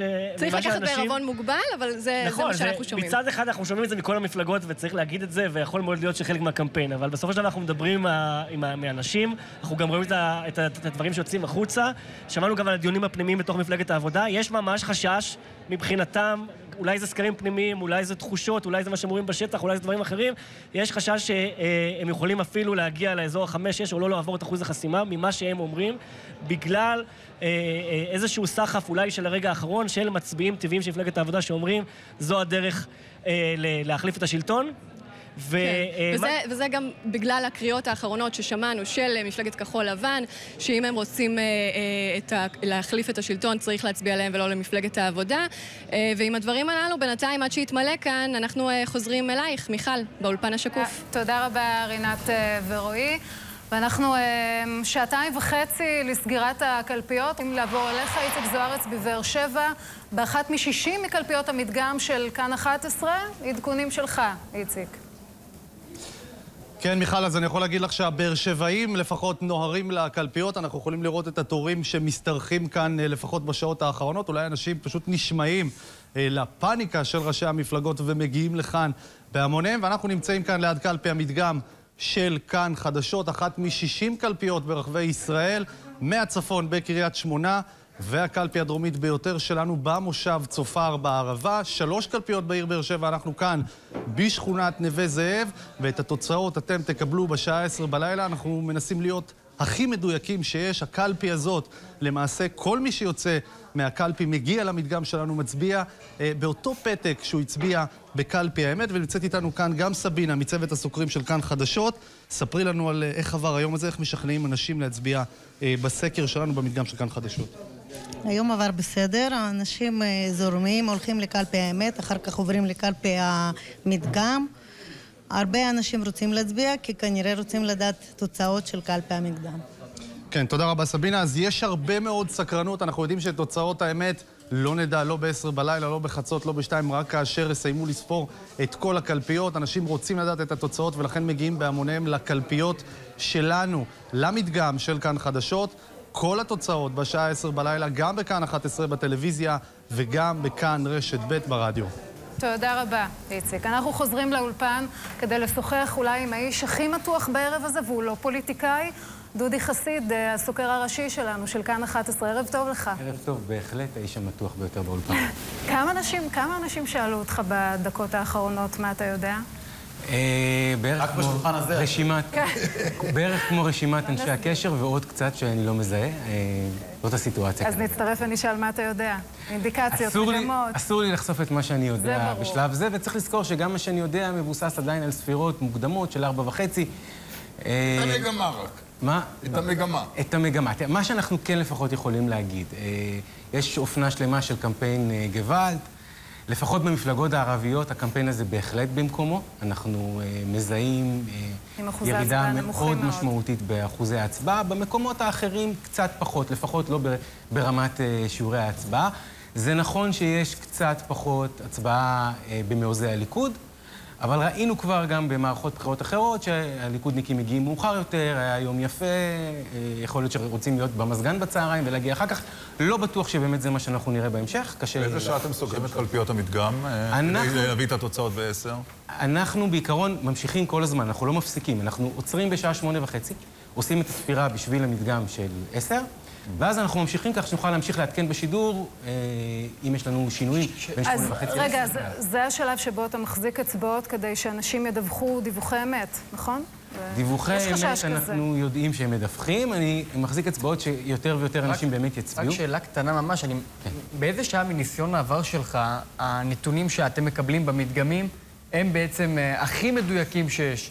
ככל שזה יותר מאוחר, או שהנתונים לצורך העניין של המדגם בשעות הצהריים כבר די דומים לנתונים של... אה, לא, של המדגם של שעות הצהריים, אנחנו יודעים שיש פערים גדולים בינו לבין הסוף. בשמונה וחצי זו תמונה די טובה, ועדיין, תלוי ב...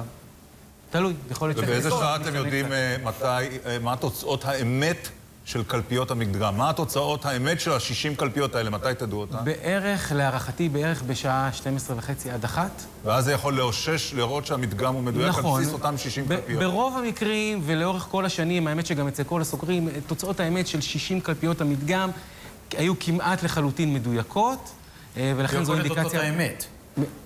לא, אבל לפני ארבע שנים אני זוכר שהמדגמים הראו שהמחנה הציוני והליכוד הם ראש בראש, וזה נכון. הסתיים ב-30-24. נכון, אבל גם אז... המדגם לא הראה את זה. זה נכון, אבל גם אז, אם היינו מסתכלים, כשאנחנו מסתכלים על תוצאות האמת של אותם 60 קלפיות שבחרנו, אנחנו יודעים שהגענו כמעט לתוצאה המדויקת. אז איפה הייתה טעות? 80 אחוז, 80 אחוז מהאנשים מצביעים ב- בקלפי. עכשיו, ההנחה שלנו, כי אין לנו הנחה טובה יותר, היא שה-80 אחוז האלה מייצגים גם את ה-20 אחוז שבוחרים שלא להצביע, מסיבות כאלה ואחרות. בדרך כלל זה עבד לא רע, גם במערכות בחירות בישראל. בבחירות האחרונות, ה-20 אחוז שלא הצביעו היו במובהק יותר אנשי ליכוד. ואיך תנטרלו את זה שזה לא יקרה הפעם? זה מה גם הפעם 80 אחוז יצביעו בקלפיות המדגם. נכון, כרגע המספר הוא... כרגע, המספר שאנחנו רואים כרגע הוא די דומה למה שראינו פעם הקודמת, באזור ה-80 אחוז.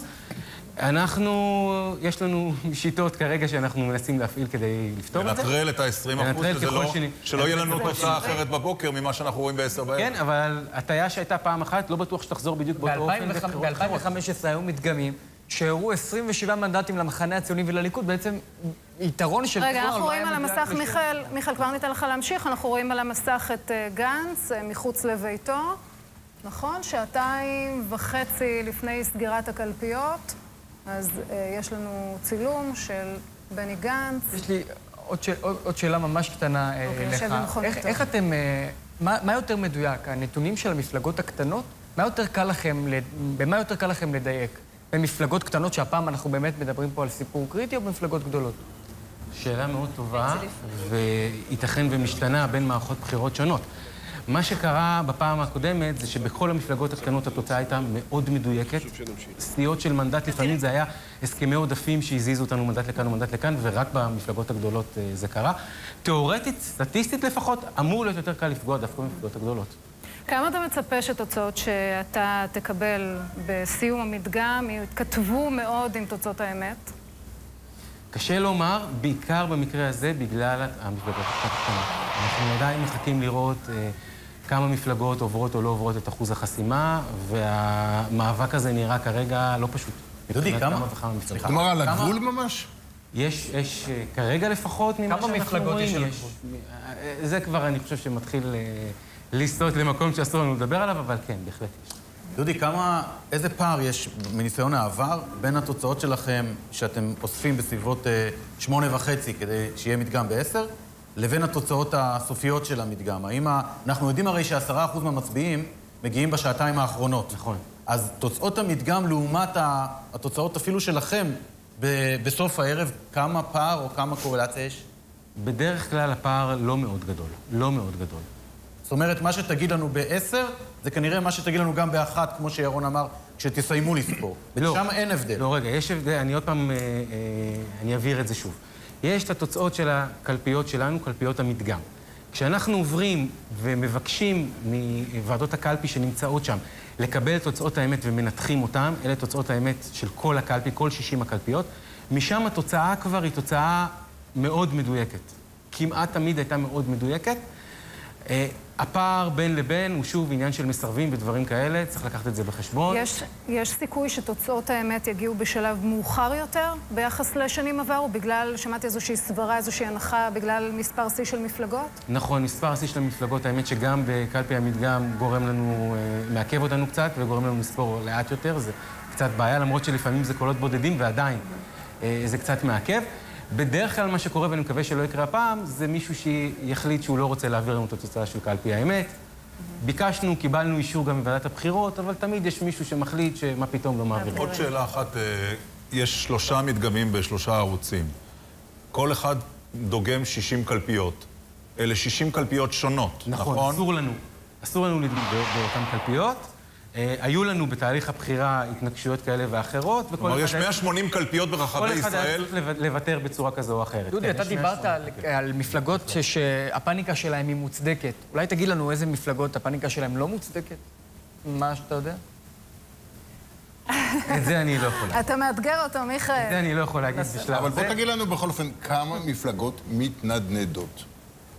ותגיד לנו לאיזה גוש הן שייכות, ואנחנו נעשה את האחד ועוד אחד. אה, לא, אני ניסיון לצערי. לצערי עדיין לא מאוד יכול. לא- לא אמרתי איזה, אמרתי... זה- שעות מאוד קריטיות. שעות מאוד קריטיות, ועדיין, אנחנו חלילה לא רוצים... טוב. ניסיתי. העבר, לדעתך בחירות מוכרעות בשעות האלה, או שזה משהו שקורה כבר בשעות יותר מוקדמות שלהם? יש הרבה מצבים שבהם הבחירות מוכרעות בשעות האלה, כן. כלומר, ציבורים שמגיעים בשעות האחרונות להצבעה. בהחלט, אנחנו אגב, בשמונה בערב נסגרות קלפיות במקומות יישוב קטנים. נכון, ושם אנחנו באמת רואים שאחוזי ההצבעה הם כבר גבוהים בשלב יש הזה. לנו קלפיות אפילו. במדגם באזורים כן, קטנים? יש לנו גם במקומות כאלה, בתוך כל ה-60 יש גם במקומות כאלה. אה, אבל במקומות אחרים אנחנו רואים הצבעה שהיא הצבעה מאוחרת בהרבה מאוד מקרים. גם עוד פעם, יום יפה, יום חם, אני מניח שהרבה אנשים בילו בים, כמה מהם יגיעו מאוחר להצביע או לא, גם ברמת כלל אני דווקא התרשמתי שהרבה מאוד. אנשים הגיעו בבוקר, פתחו את היום בקלפיות, ואז המשיכו הבוקר יחסית בסדר היום היה, יחסית המתוכנן היה שלהם. טוב, זה לא היה נראה מערכת בחירות עם אחוזי הצבעה מאוד נמוכים כשהתחלנו את הבוקר, בדיווחים הראשונים. ככל שהיום מתקדם, דווקא הפער הזה הלך וגדל. אה, אם בהתחלה, אני לפחות הערכתי שאנחנו מדברים על אזור ה-70, זה נראה שזה הולך ויורד, אולי... צריך להזכיר שבשש בערב אחוז ההצבעה היה אה, 54 אחוז ושש עשיריות. לפני ארבע שנים בשש בערב זה היה 52 אחוז. זאת אומרת, יש לנו פער של שני אחוז. וחצי בערך, שני אחוז וחצי לערך מהמערכת הבחירות לפני ארבע שנים. אוקיי.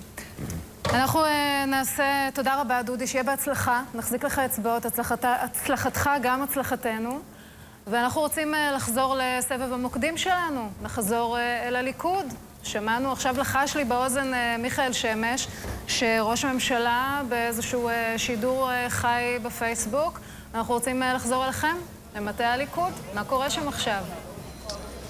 כן, מיכל, שלום, ערב טוב. קלמן ליבסקין, שלום גם לך. אהלן, שלום, שלום. איך עובר היום עד עכשיו? מתרגש? אה, אצלנו בסדר, יש פה מיליארד עיתונאים, שניים וחצי אנשי ליכוד שחמקו מההוראות של נכון. נתניהו לרוץ לשטח נכון. ולהביא אנשים לא, ותפסו אומרים, כאן אומרים כל מקום. הזמן מטה הליכוד, זה המטה של יואב קרקובסקי בעיקר, והחברים הפוליטיים, עמיתיו נכון, החברים נכון. הפוליטיים. אין פה מטה ליכוד, נתניהו לא יושב פה אנחנו עם יועציו. מקווים שבהמשך הערב יגיעו גם הליכודניקים. כן, אם, אם תהיה מסיבת ניצחון, היא תהיה כאן. אם לא, אנחנו נלך לחפש את המקומות אחרים. תהיה פה מסיבת דיכאון. יואב קרקובסקי, שלום. שלום, אז זה באמת המטה הטקסי שבינתיים אה, נהוג בדרך כלל שהוא מתחיל להתמלא לקראת עשר, כדי לראות כולם ביחד על מסכים את מדגמי הטלוויזיה, אך משום מה... אה, יצאה הודעה לפני כבר יותר משלוש שעות שהאירוע הזה לא יתחיל בשעה עשר, אלא רק בשעה 11.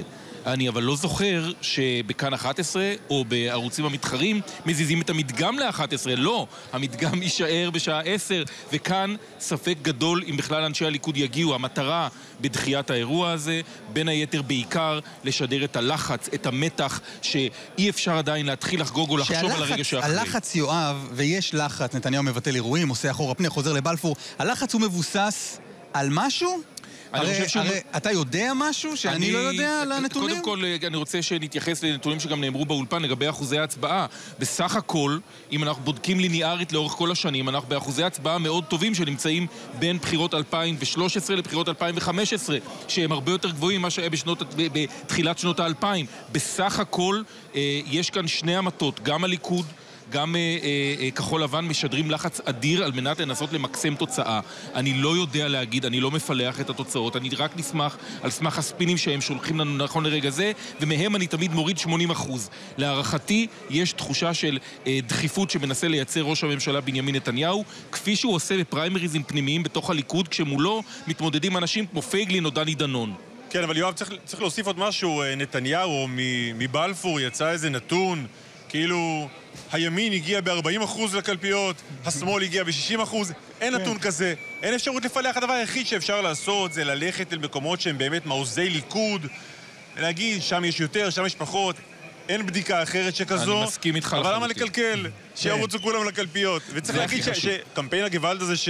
בוא נחפש לו אולי מילה אחרת, הצילו, שבבחירות הקודמות אה, נתניהו המציא אותו וגדול, הולך הפעם על כל הקו. על כל הקו, אפילו גם לכיוון מפלגת העבודה, גם שם היסטריה מאוד מאוד גדולה, גם בימין החדש. נפתלי בנט הוציא עכשיו אה, הודעה שבאמת אומרת, זה לא, זה אפילו יותר גרוע מגוואלד, זה אני תובע עוד רגע. וגם להם אין נתונים, ואין להם פילוח נכון. לא לימנים ושמאלנים, ואין להם פילוח גם לזכרים ו... ו- נכון, אבל לא יודע, להם- בהקשר של, הם של, לא. של הימין החדש, נדמה לי שאין חובש כיפה במדינת ישראל שלא קיבל היום טלפון מנפתלי בנט ו/או איילת אוקיי. שקד. אוקיי, באמת אה, בקמפיין... אה, אנחנו כאן ועוד אה, תחזרו אלינו לעוד עדכונים. עכשיו לרומי נוימרק במטה כחול לבן. רומי. שלום חברים, כן, אנחנו במטה כחול לבן אה, בגני התערוכה, מרחק יריקה מהמטה האמיתי של כחול לבן, שבו אה, גם צולמה אותה תמונה מפורסמת של הרביעייה, אחרי אה, חתימת ההסכם, בעצם במועד האחרון להגשת הרשימות. מה, זה דוב גילהר? זה נראה כאילו זה היה לפני מיליון שנה בערך, לא? הרגע הזה. נכון, גלי התערוכה זה בכלל מקום התרחשות להרבה מאוד דרמות פוליטיות. אה, 96, אנחנו הלכנו לישון עם ראש ממשלה אחד, קמנו עם ראש ממשלה אחר, לא בטוח שזה יחזור גם הערב, אבל בכחול לבן בהחלט בשעה האחרונה מנסים להבין האם כל הסקרים שגו, או אולי הם אה, אה, צדקו. ואז יש שאלה, איפה המצביעים? האם המצביעים בים? האם המצביעים אה, בכפריהם במגזר הערבי ולא הולכים לקלפי? אה, את העניין הזה מנסים לברר כאן ביתר שאת בשעה האחרונה. אה, רועי שרון, גם אתה פה מסתובב, מרגישים את הלחץ, אה, ואנחנו גם רוצים לראות תמונות כרגע של אה, בני גנץ, הוא נמצא במכונית שלו. אם אני מבינה נכון לפי השלטים, זה לא רחוק מהיכן שאנחנו נמצאים כרגע. אבל הוא אה, לא צפוי? להגיע לכאן, הוא לא? הוא לא. את המדגם הערב הוא יראה בביתו כמו רביעיית הבכירים של המפלגה. יהיה מעניין לראות באמת מה הנזק של מפלגת אה, כחול לבן, כמה הקולות, כמו שנהוג להגיד, שתתו, כמה הם שתו כן. מכל המפלגות, על המפלגות הערביות ועל מרץ ועל העבודה. הרבה מאוד מפלגות לא לקחו בחשבון כמה באז זה יעשה וכמה קולות ייעלמו להם ביום הבחירות, ויכול להיות שזה גם אם כחול לבן תעבור את הליכוד במספר, אני לא יודע לנקוב בו- במספר של המנדטים. למרות זאת, ראש הממשלה הבא יהיה נתניהו, ככה שגם בעשר, כשנצפה במדגמים, התשובה לא תהיה, ייתכן מאוד שהתשובה לא תהיה חד משמעית. כן, על הבמה כאן מאחורינו כבר העמידו את הפודיום עם המנורה, הם מנסים כרגיל להישמע ולהיראות הכי ממלכתיים שיש, אתם רואים, משדרים את הניצחון, אבל, דוב, שמענו כאן את איתי בן חורין אה, שדיבר לפני אה, כמה דקות. אה, אני חושב שלכחול לבן תהיה בעיה מהותית עם האוכלוסייה הערבית, מכיוון שבמשך אה, כל מסע הבחירות הזה לא, לא הבנת מה ההבדל בין הליכוד לצורך העניין לבין כחול לבן. גם כחול לבן הדירו את ה, אה, לא את האוכלוסייה הערבית, את המפלגות הערביות, אנחנו לא נדבר איתם, לא נפנה אליהם. הכחשה מכל וכול שיש איזשהו משהו שאולי יכול לחשב כבלוק אה, חוסם, ומאוד יכול ואמירה להיות... לא מספיק ברורה לגבי חוק הלאום, צריך להגיד. ויכול להיות שהאוכלוסייה הערבית תשלם לכחול לבן בקלפי, מכיוון שהיא שמעה את מה שאמרו עליה ונשארה בבית. אגב, מפלגה נוספת, שמש... מפלגה נוספת שמשלמת את המחיר על החיבור הזה בין אה, יש עתיד לבין אה, חוסן לישראל, הימין החדש. גם, בג... גם כשאיילת שקד ובנט הלכו על המהלך הזה, כשעזבו את הבית היהודי, הם לא לקחו בחשבון שבסופו של דבר המאבק יהיה גדול בין שני ראשי הגושים, בין גנץ לבין נתניהו, ככה שבסופו של דבר הם הפסידו קולות לנתניהו. הם בוודאות לא לקחו את זה בחשבון, כמו שהם לא לקחו את בחשבון גם את פייגלין וגם את האיחוד של עוצמה לישראל, ככה שכחול לבן משפיעה לא רק על גוש השמאל, אלא גם על המפלגות, האיחוד של כחול לבן, גם על המפלגות הקטנות של הימין. טוב, אנחנו נבדוק עכשיו מה הדופק אה, במטה מפלגת העבודה. אלייך רינת ספיבק. תודה רבה, רומי. אז כן, גם אצלנו הפודיום אה, מוכן על הבמה. בינתיים מאחורינו 99 אחוזים ממה שאתם רואים זה כלי תקשורת. פעילים כמעט ואין כאן, אנחנו יכולים לספור אותם על יד אחת.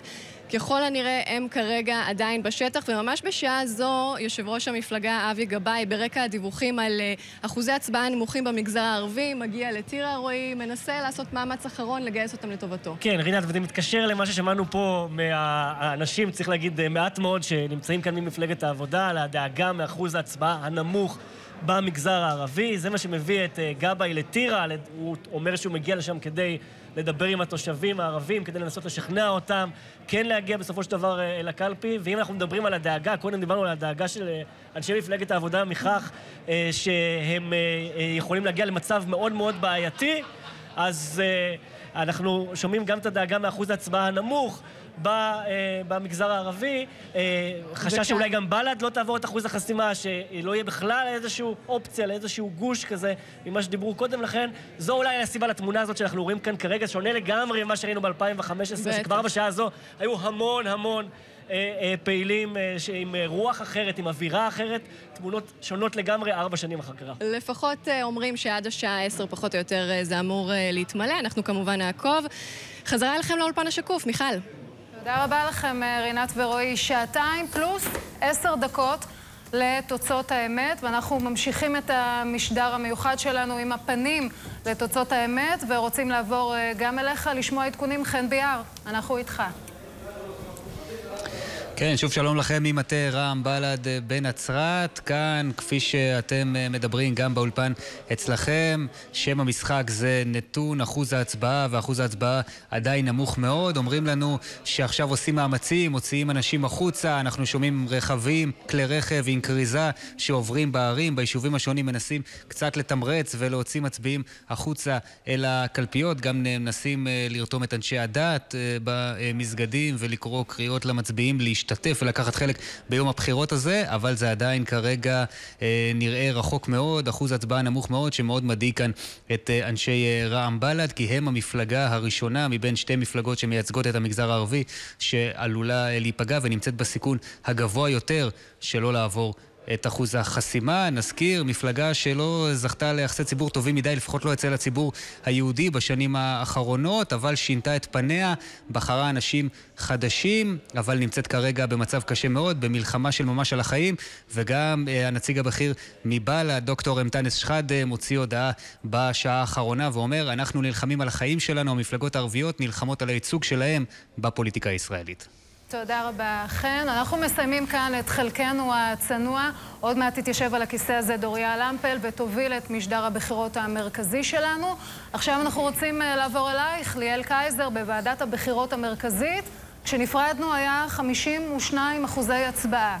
ליאל, אנחנו איתך. נכון, מיכל. אז האמת היא שמבחינת אה, שיעורי ההצבעה, הנתון העדכני האחרון הוא הנתון לשעה שש בערב, שבה כאמור 52% מבעלי זכות הבחירה יצאו לקלפיות, נכון לשעה שש בערב, וזוהי ירידה ביחס לבחירות האחרונות ב-2015.